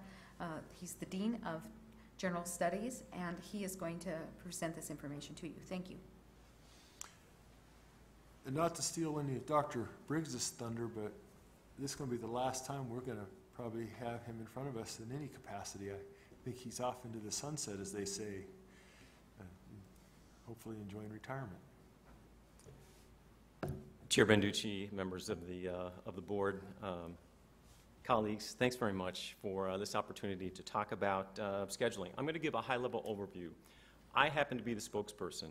We could pick people all across this campus because anytime we talk about scheduling, we are talking about something that requires everybody on campus to be involved. So it is collaborative in all ways. IT's involved, the registrar's involved, instruction's involved, facilities are involved. So we have everybody on deck, marketing and communications. So that's a, that's a key element of whenever we put together a schedule at the, at the institution. We pay a great deal of attention to the sequence. We've got to be sure that we are providing students with the courses they need for prerequisites to progress and to make sure that they can complete. This is a deliberate process as well. There are between 2,300 and 2,600 individual sections, fall and spring, that the college offers. And we offer those sections in multiple locations. We're at Parker. We're, we're dual credit. We're, of course, here on campus. We've got clinical settings. So there are a lot of place elements that are involved in the, in the schedule. Timing, of course, is critical, and then how are you delivering your instruction? Is it in person? Is it hybrid? Is it, is it through online? So all of those variables come into play, and we've got to have checks and balances. We have a lot of people who have their eyes on this to try to get it as right and as accurate and as effective as possible. And of course, this is an iterative process. We know there is no such thing as a perfect schedule. We try. And we're able to make progress because we have so many people contributing, and then we have that prior fall really to be the model of what is going to come in the next fall. We don't do it in a lockstep fashion, but we rely very heavily on all the time, effort, and energy that goes into building that schedule. So those, these are four themes that I'm going to talk a little bit about as I get into a few of the details without getting too much into the detail about all the nuance related to uh, scheduling and, and what's, what's involved. So here's the cycle. Students are at the center, of course. We have a calendar that the registrar gives us. We need to be sure that we are working on this in a fashion that, that provides students with the opportunity in a sequence to be able to register and get the courses that they need. So we initiate that process, and again, we're looking at all of these factors around number of seats, the timing of those seats, how we're delivering it, where we're delivering it. We're able to use a set of resources that are provided by our Institutional Effectiveness Office. We have those reports to make sure that we're doing the best job we possibly can in initiating that scheduling process. Registrar helps make sure that we do that in a way that, again, we've got that time built in to do the work necessary. We then revise the schedule, and let me give you a couple examples. These aren't going to surprise you at all. If we look, for instance, at the total number of sections that the college offered, fall of 20 and spring of 21, it's 14% fewer sections than on average in the prior five years. Our enrollment has changed. And so we have actively modified the total number of seats available at the institution as a result of that. The other huge factor, of course, is the pandemic. All of the work that was done in the last year to make modifications around how we are delivering our instruction in a way to help ensure safety, we had all kinds of people on campus pitch in and help make that possible. Let me give you a couple specifics to help describe that in some detail. So in the fall of 20, about three out of four of all of our sections had some form of in-person component to it, whether it was indeed that direct in-person, totally face-to-face, or if it was hybrid, where there was a combination of some opportunity for in-person involvement and then use of online delivery. And about 25% that was wholly online. So that was the profile in the fall of 20. If we look at what our plans are for the fall of '21, because we have the schedule built and it's out there, three quarters of all of our classes have some face-to-face component to it. About 25% is online. The huge difference is we have changed the sections that are hybrid very dramatically. So last fall, we had 485 sections that were hybrid. This fall, we only have 152, and that means that our face-to-face has grown considerably because students and faculty want to have more of that face-to-face interaction. So those are the kinds of shifts that we have put in place as we're looking at a schedule revision from last fall to this fall. Certainly, a component to that schedule revision has to do with the change in faculty. Every year, we have change in faculty for a variety of reasons. One of the things that we're spoken to tonight in the budget is the fact that we did an intentional buyout of faculty. So I can think of three areas that I happen to have a chance to work with where they did not have full-time faculty this year that they had in the prior year. So math didn't have, music didn't have, psychology didn't have, long-time tenured faculty to work with to put together the schedule. So they had to make adjustments around that. So all of that is in those kind of first two globes in this little cycle that we have, that we have here. We make that work happen, it then gets into a proofing stage. And again, lots of moving parts. So we have colleagues in student services help our administrative staff at the division level, at the instructional level, make sure that it's right. Maybe we missed something around the contact time for credit hours. We got to be sure that's dialed in. We got a lot of different ways we deliver instruction. That can get a little tricky. This past year, we had a great deal of work that we did, thanks to IT, thanks to facilities, to make sure we were hitting those room caps appropriately. And if we were using a lot of hybrid delivery or online delivery, did we have the equipment in those classes so you weren't sending someone to a class that didn't have the wherewithal to make that, that class successful? Again, a tremendous amount of work that's been done in the past year. So we had a successful and effective schedule, and we're able to post that and put it, put it out there, and then open registration. So we're most of the way around the circle, if you will. The fall 21 schedule opened on April 12th. The priority, of course, was for a continuing student to have first opportunity to enroll in classes. The first opportunity to be advised because those students generally have a good sense of what it is they want to take. We want them to get those classes first, and then new students will follow.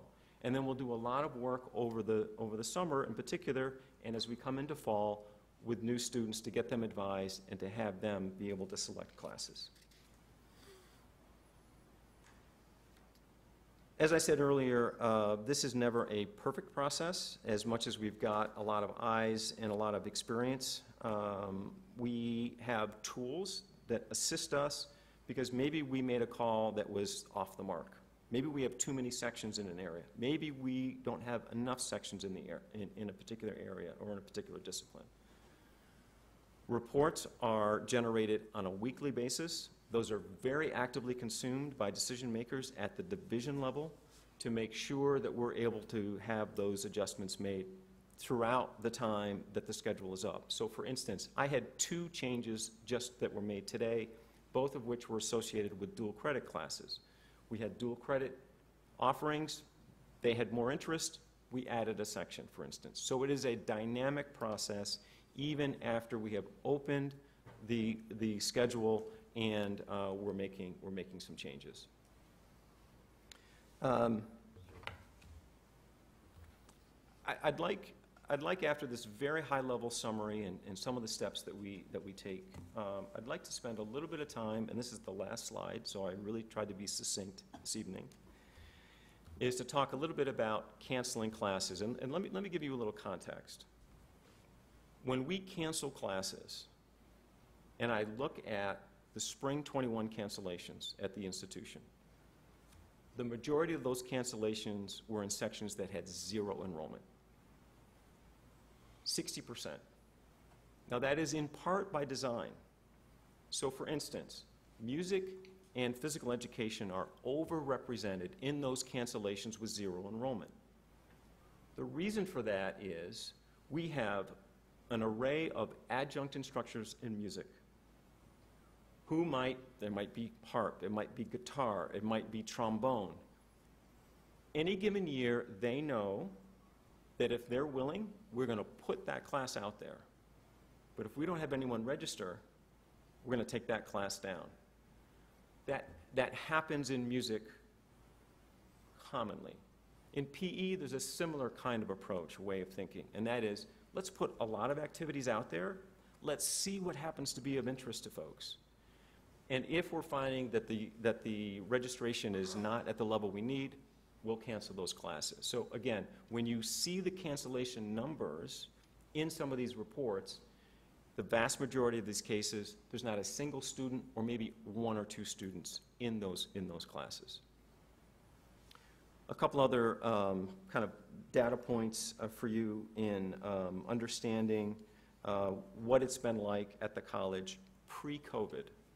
On average, for the three semesters before we came into COVID, 7.5% of all offered sections needed to be canceled.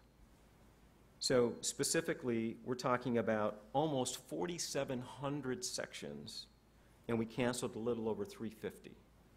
So not bad overall in terms of our ability to right-size what our offerings are and then adjust our changes as we need to in a, in a dynamic way. So that said, let me give you a couple concrete examples of when we do need to make some hard decisions about do you run a class or not run a class. And so this, this uh, kind of decision tree, uh, I, I think captures it fairly well. We always ask, what is the impact on the student? If we cancel this class, is this going to harm the student's ability to accomplish what she is trying to accomplish? I'll give you an example. Chris Martin is teaching accounting. Larry Briggs is teaching accounting. No one's surprised that a lot more people are going to register for Chris Martin's section than are going to register for my section. But because we know that there are a number of students who want accounting, Chris's section and my section is at the same time. So they're going to take the two or three students from my section, they're going to put them in Chris's section where he's got space, they're going to cancel my section. Student might have a difference in instructor, but in all other respects, the class is entirely the same. Those are the kinds of things that we are able to do commonly because division chairs are in communication with students through advising to make those arrangements possible. So that's part of the decision tree where we say, are there alternatives to scheduled delivery? If there are, great. We move that student into that other section. Now, what if there's not that ideal class? And we also know that it won't harm that student to do an alternative class. I'll pick PE. Maybe I register for a dance class. I really would love to take that class. We don't have the enrollment, but we have four or five or six other classes, also in PE, meet the same requirement. The student can fit it on her schedule. We'll make that change. So that's the alternative portion of this decision tree. And again, we will make sure that we communicate with students so that they're aware of what we're doing, they know how to do it, and uh, there, there's not, they're not left uh, without clear and effective dialogue about what's happening. There are situations where we have to make more difficult decisions. So for instance, if there is a class that we're really saying, we don't have the enrollment to run it, we really come down to two decision points. And so this is under the, under the blue, will course cancellation harm students' completion? And if the answer is yes, we tend to go in two directions. One is this idea of a directed study. It's basically individualized instruction with the same faculty member with that student through an agreement that goes through a formal process, gets signed off, and that student is still able to get that class working with that faculty member, but we cancel the section that was associated with it. Faculty are paid at a dramatically reduced rate for that instruction. It ends up being a win-win. Student gets the course, the faculty member is able to engage the student in an area that's important to the student and important to the faculty member. The institution does not pay what they would otherwise pay to run that section. Uh, for instance, student is doing a Spanish series. Last course in the series, student needs that class. This is a course that our modern language faculty will say, I'll do a directed study. I can deliver that effectively. Let's make that arrangement. By comparison, we might have a class in our engineering program. It's got a lab associated with it. You're not going to be able to do a directed study very well in that kind of a situation. Student needs ha hands-on experience. In that situation, we'll make the call to run the class. The student has to have the class. It's necessary for the student to complete the program. The faculty member says, this is the only way the student is really going to learn what the student needs to learn, we'll run it. We do those very selectively. We always do those in dialogue and in conversation with, with, with the division. I attempted to try to cover a lot of material in a fairly compact way, uh, recognizing that you have been in some form of conversation for quite some time this evening. Um, I'm happy to go into further detail on, on any of your questions related to scheduling, but I hope that is of some use to kind of give an overview of what the process is and what some particular triggers are for our decision-making process uh, when, when we are, are working with students. Thank you, thank you. Questions for Dr. Briggs?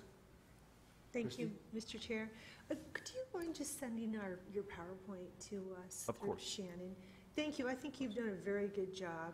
And um, I didn't, I, I mean, I've seen something similar to this before, but it's really good information for a refresher and certainly for our new board members. Um, I wish you well. Won't get to talk with you again probably.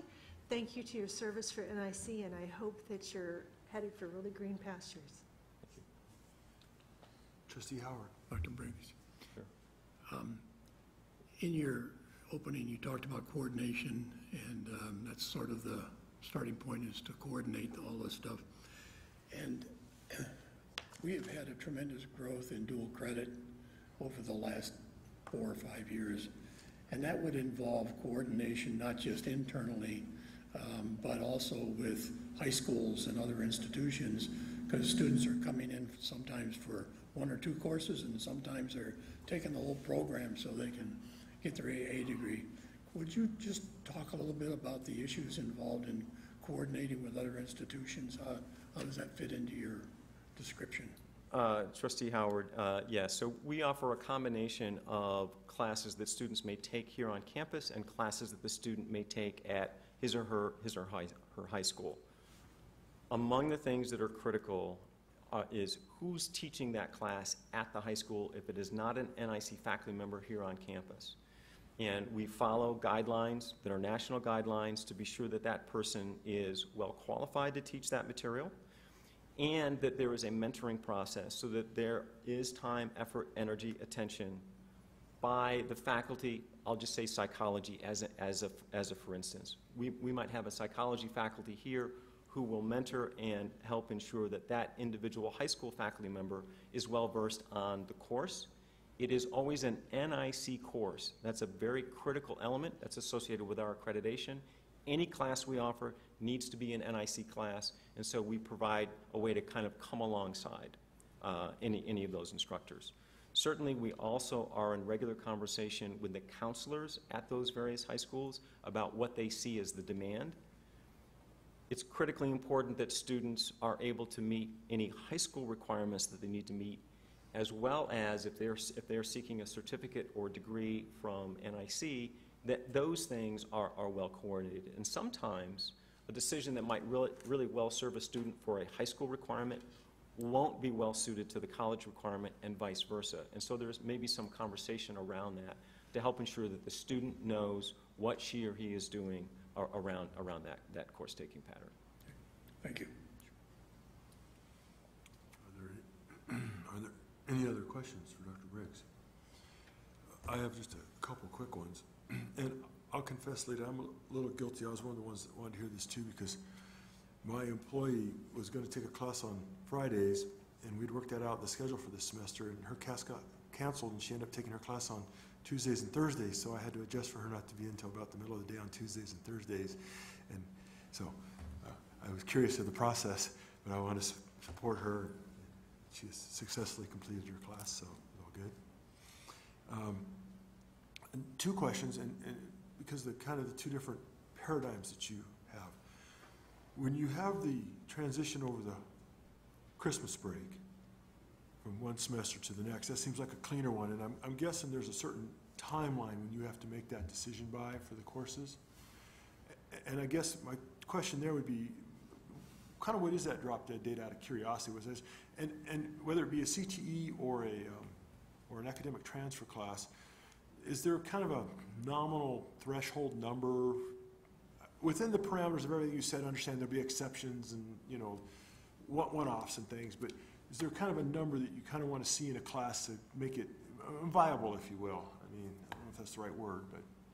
Uh, uh, Chair Banducci, I, I think viable is, is an excellent term to describe uh, the decision-making process. And indeed, between the end of fall and beginning of spring, it's a bit of a squeeze because we, we the, the campus is closed. Um, people are uh, en- engaged in all kinds of good things at the end of the year, and then we turn around and hit the ground running in, in January. Um, my, my default guidance to the division chairs and directors that I have a chance to work with is we really need to make that decision at least a week in advance of the start of the term, whenever possible. Generally, those decisions are made well in advance of that, again, to give a student an opportunity to make, to make adjustments, but sometimes it, it gets really tight, and that is a time of year where sometimes it's, it's, it's a little rough and not quite what we would, we would like it to be. In terms of a number, uh, we generally give a guide, uh, we're looking for 12 students in a section to run it. Um, That does, that does vary. Some of, some of the examples that, uh, that that I shared, we may be well below 10 and, and, run a section. Uh, There have been times when we've even had fewer, fewer than that in some sections because it was the only way to ensure that the students got what they needed. Is, is, I'm curious, is that often in the CTE world where you end up with smaller, or is it kind of across the board? Uh, I I would, I would defer to my, my colleague, uh, Christie Doyle, for, for uh, speci- That was just a specifics, curious specifics on that, and, and um, uh, probably Dr. Burns can speak to that uh, much more effectively than I can. I was just hesitating to see if Christie popped up, uh, but let me respond to that question. Um, Chair Banducci, the CTE world is a little bit different than. And more expensive to teach, too. It is more expensive to teach, but because those programs are established that one course typically builds on another course, unless it is one of the general studies courses that support the CTE certificate or degree, um, generally, we, we really don't cancel the CTE courses for roll, low enrollment. So, um, yes, if it is a gen ed that is supporting it, yes, we, we will, or we'll find an alternative as uh, Dr. Briggs described in, in this explanation. But it's very difficult for us to cancel one of those courses because it would set them behind an entire semester. Uh, One more, uh, two more questions. One real quick. You mentioned about enrolling folks for the fall. So very different paradigm. You go from the spring semester to the fall because we have the summer term. How do you, first off, kudos, because I don't know how you keep that straight, because you got some probably that are doing summer and fall, summer, fall, summer, summer, so I mean, it must be kind of quite the uh, on-ramp and off-ramp at that point. More challenging, I'm guessing, to figure out classes and how you turn that around for the summer versus, but maybe more time to figure out the fall? Uh, There's a little more, there's a little more grace in the schedule uh, when, when we build uh, a fall, April opening, uh, and then work it through, through the summer and are, are able to make, make adjustments. Are you basically enrolling at the same time, summer and, and fall? or- Cor- Correct, Okay, yes. interesting. Yes, ma'am. If I may make one comment in terms of cancellation for low enrollment. Um, As you are well aware that the college received uh, funds, CARES funds, due to the COVID pandemic. That did allow us this past spring and will allow us in the fall to uh, run classes with a lower enrollment than we, we typically do because we will have um, the opportunity to offset the loss of revenue from those with, with CARES funding. So um, this is really important to us as we were talking about that balance of making sure we sustain enough courses to attract students into them. If we canceled all our low enrollment classes, then we might get to a place towards the end of the summer um, and get a flood of students wanting to come to us, and we wouldn't have courses for them. And so I think this year, as we're going into the fall, we will probably make additional adjustments to this process that has been described to allow for um, lower enrolled courses. Again, just trying to accommodate those students who absolutely want to come, and this might be their only opportunity to get into those courses that have been um, scheduled. And if I may share one thought, and I'm sure you guys have processes and procedures in place. With the employee I was mentioning, one of the short-term challenges or concerns, and it was resolved, was that they had gotten their class and had gotten and purchased, or purchased the textbook, which was not inexpensive, and then ended up, maybe ended up, was gonna end up with a different instructor who did not use the same textbook. I think as it worked out, going from the Friday to the Tuesday, Thursday, I think she was able to maintain the instructor or get an instructor that did use the same textbook. So, I mean, that's always one of the considerations too, that we just make sure nobody ends up with something or, and I think, I think you and I, had talked about that, where you guys would take that back if that was the occurrence or something. Yeah, so, I know it's a challenge. Anyway, thank you, you guys doing a great job. Are there, are there any more questions? Or, Larry, did you have another question? I, I- simply uh, wanted to take an opportunity to publicly thank uh, the college for the opportunity to be part of this community.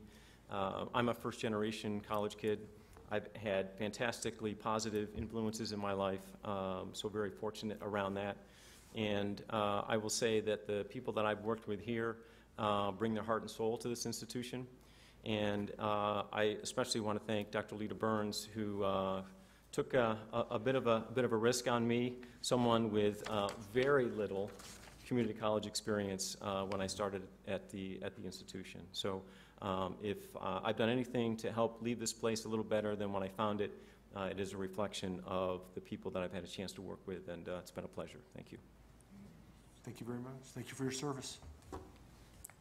And happy retirement.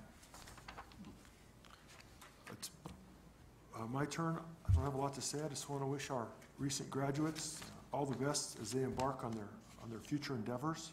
And uh, I just wish them well and hope that they're able to find success and happiness. It's a, it's a big, big world out there.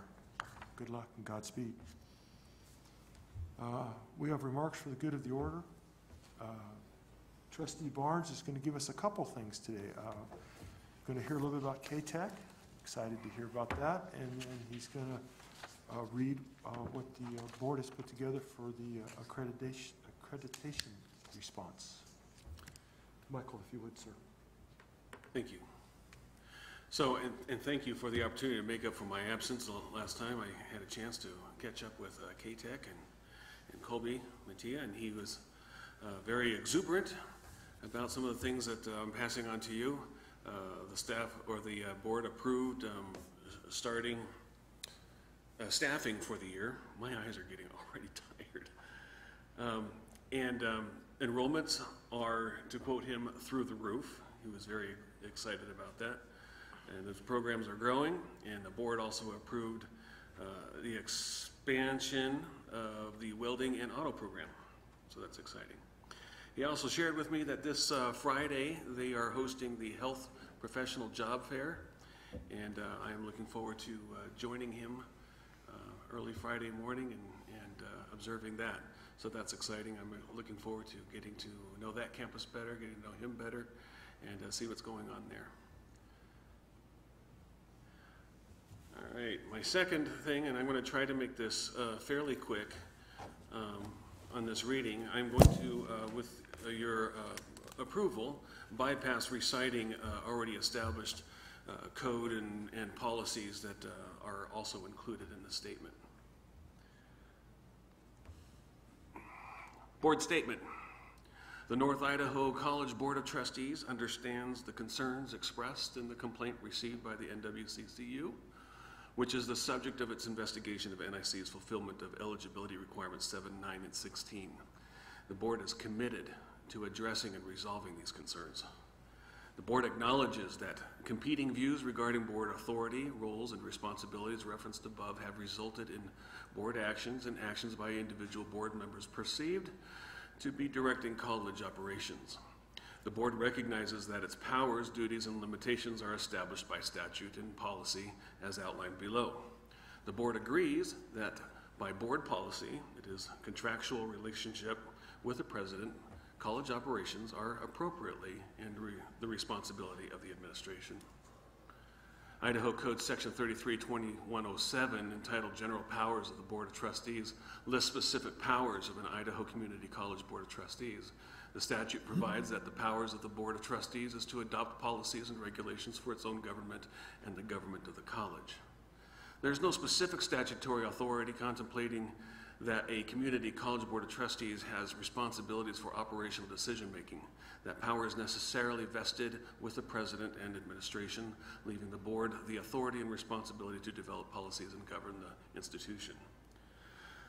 The legislature gave the Board of Trustees the authority to retain a president for a community college and, on the president's recommendation, appoint personnel, fix salaries, and prescribe duties.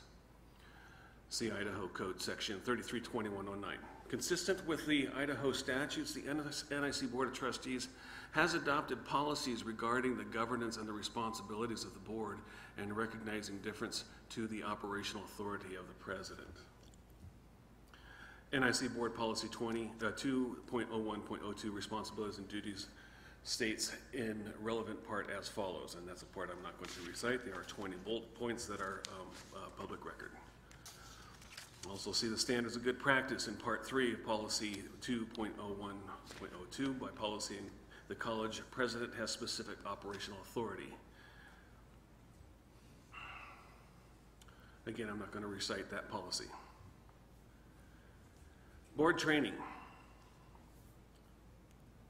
The board recognizes that uh, confusing and competing views regarding board authority, roles, and responsibilities has had an adverse impact on the entire college community.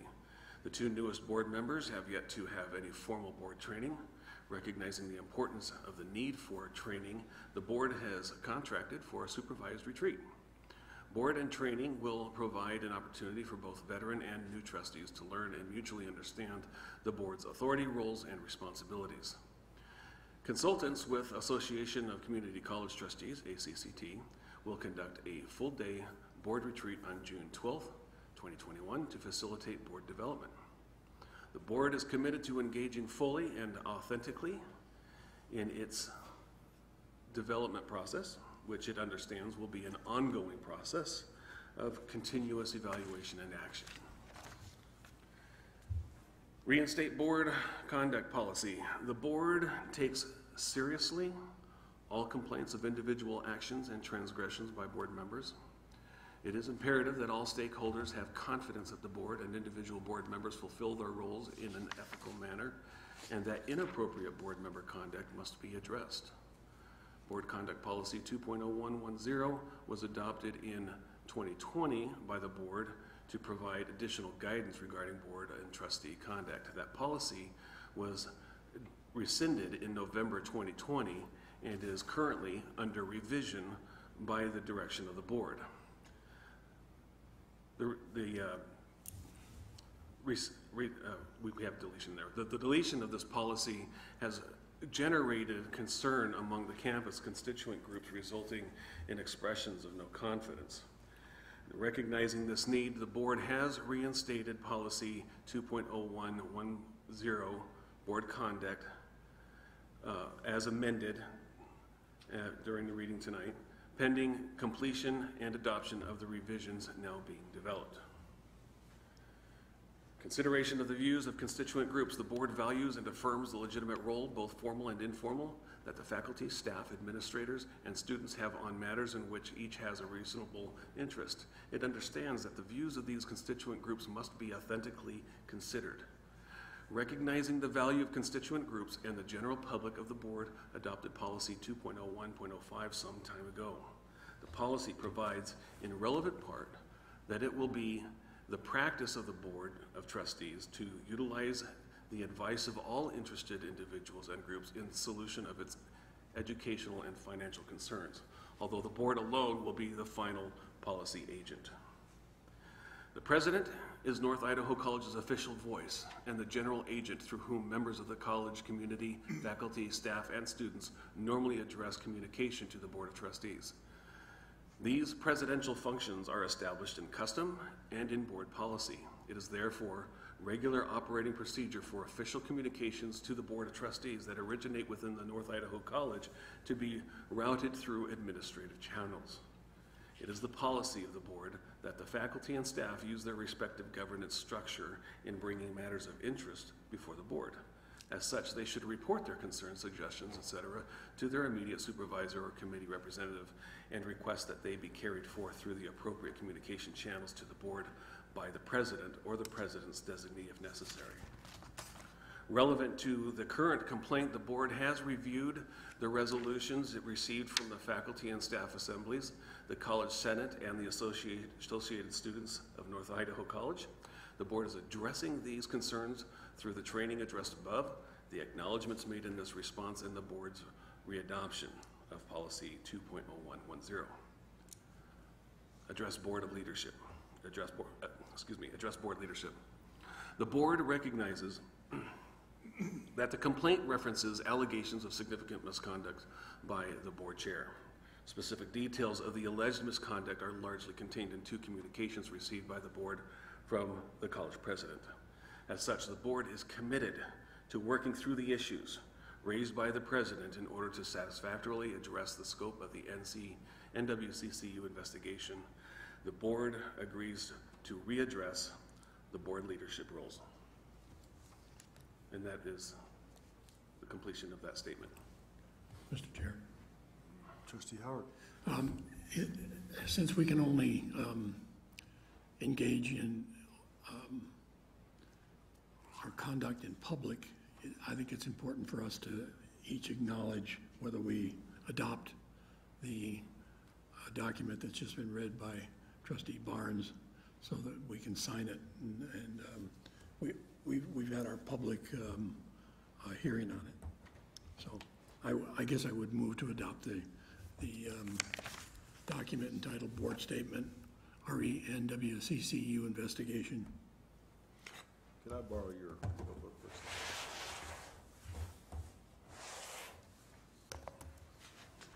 I guess just for clarification,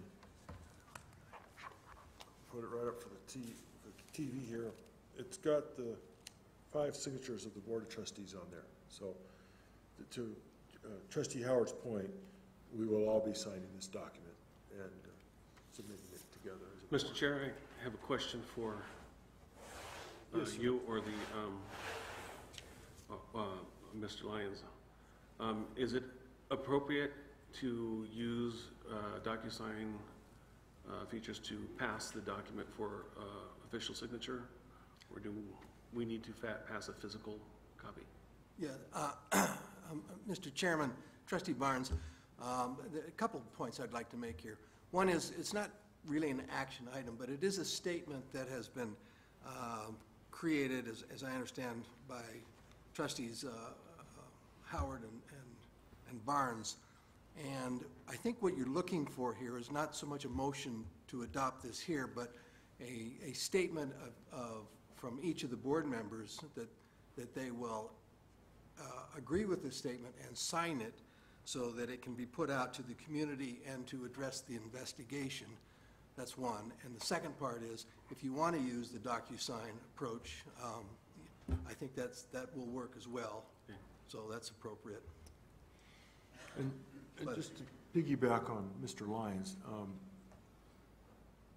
trustee Howard and trustee Barnes graciously allowed the rest of the trustees to uh, interact with them on that and, and provide input on that document. So they, they built the foundation of it and the bulk of it and the- and the framework, but uh, like to think of it as a a collaborative effort at that point. Mr. Chairman, I, I think it would be helpful if each of the board members uh, at least acknowledged uh, their, their consent to this statement, and then, then later the, the, the draft can be circulated in one way, one form or another for uh, signa- signature. Okay. Did someone else? Let me just say that uh, I adopt the board statement as presented and agree to sign it when presented to me. I'll, I'll, again, say I adopt the statement and look forward to signing it. I adopt and will sign. Uh, I adopt and will sign. I adopt and will sign. Can we adjourn this? Oh, no, actually, I, I want to hear what he says, but I want to see if anybody else has anything else for the good of the order. I'd love to end on something happy. Have something. I mean, we don't. Go ahead. Well, thank you, uh, Mr. Banducci. I apologize, I don't know if this is going to be happy, I hope it's neutral. Uh, But I was, I was asked earlier this evening, uh, relative to the board statement, uh, in terms of the uh, process and outcome of the, uh, the complaint the college is developing its response to. And I, I answered that question, and that it- it, it certainly is a step in a, in a direction to lead us to a positive outcome, uh, for sure. But I want to remind the board also, uh, as I uh, advised uh, last month, uh, uh, that what we're going to be required to do, the, the, our response is strengthened by evidence. And so where, where we have indicated actions, future actions to be taken, uh, it, it, we will, we will need to provide evidence that, that we've actually fulfilled those things. So the reason I bring that up here is in terms of, eh, I don't, I can't predict or anticipate any action by the, by the Co- Commission on Colleges and Universities. But I do know that they're pretty, they're steadfast in the evidence role in in documenting the college's fulfillment of the standards, the accreditation standards, and its meeting of the eligibility requirements. So I, I, I suspect that um, we're not going to quite, uh, we're not dialing that all the way in with, with this statement tonight. And I didn't anticipate that we would. But I think it's a really good step in the right direction uh, uh, to get us on track to do that. So um, you have my appreciation for that. There, that's a little positive. I have one last statement. Trustee Barnes? I am excited to be here without a mask. So are I'm we. looking forward to spending some time on campus and getting to know everybody. So thank you. We'll go with that as a happy ending. I declare the meeting meeting adjourned.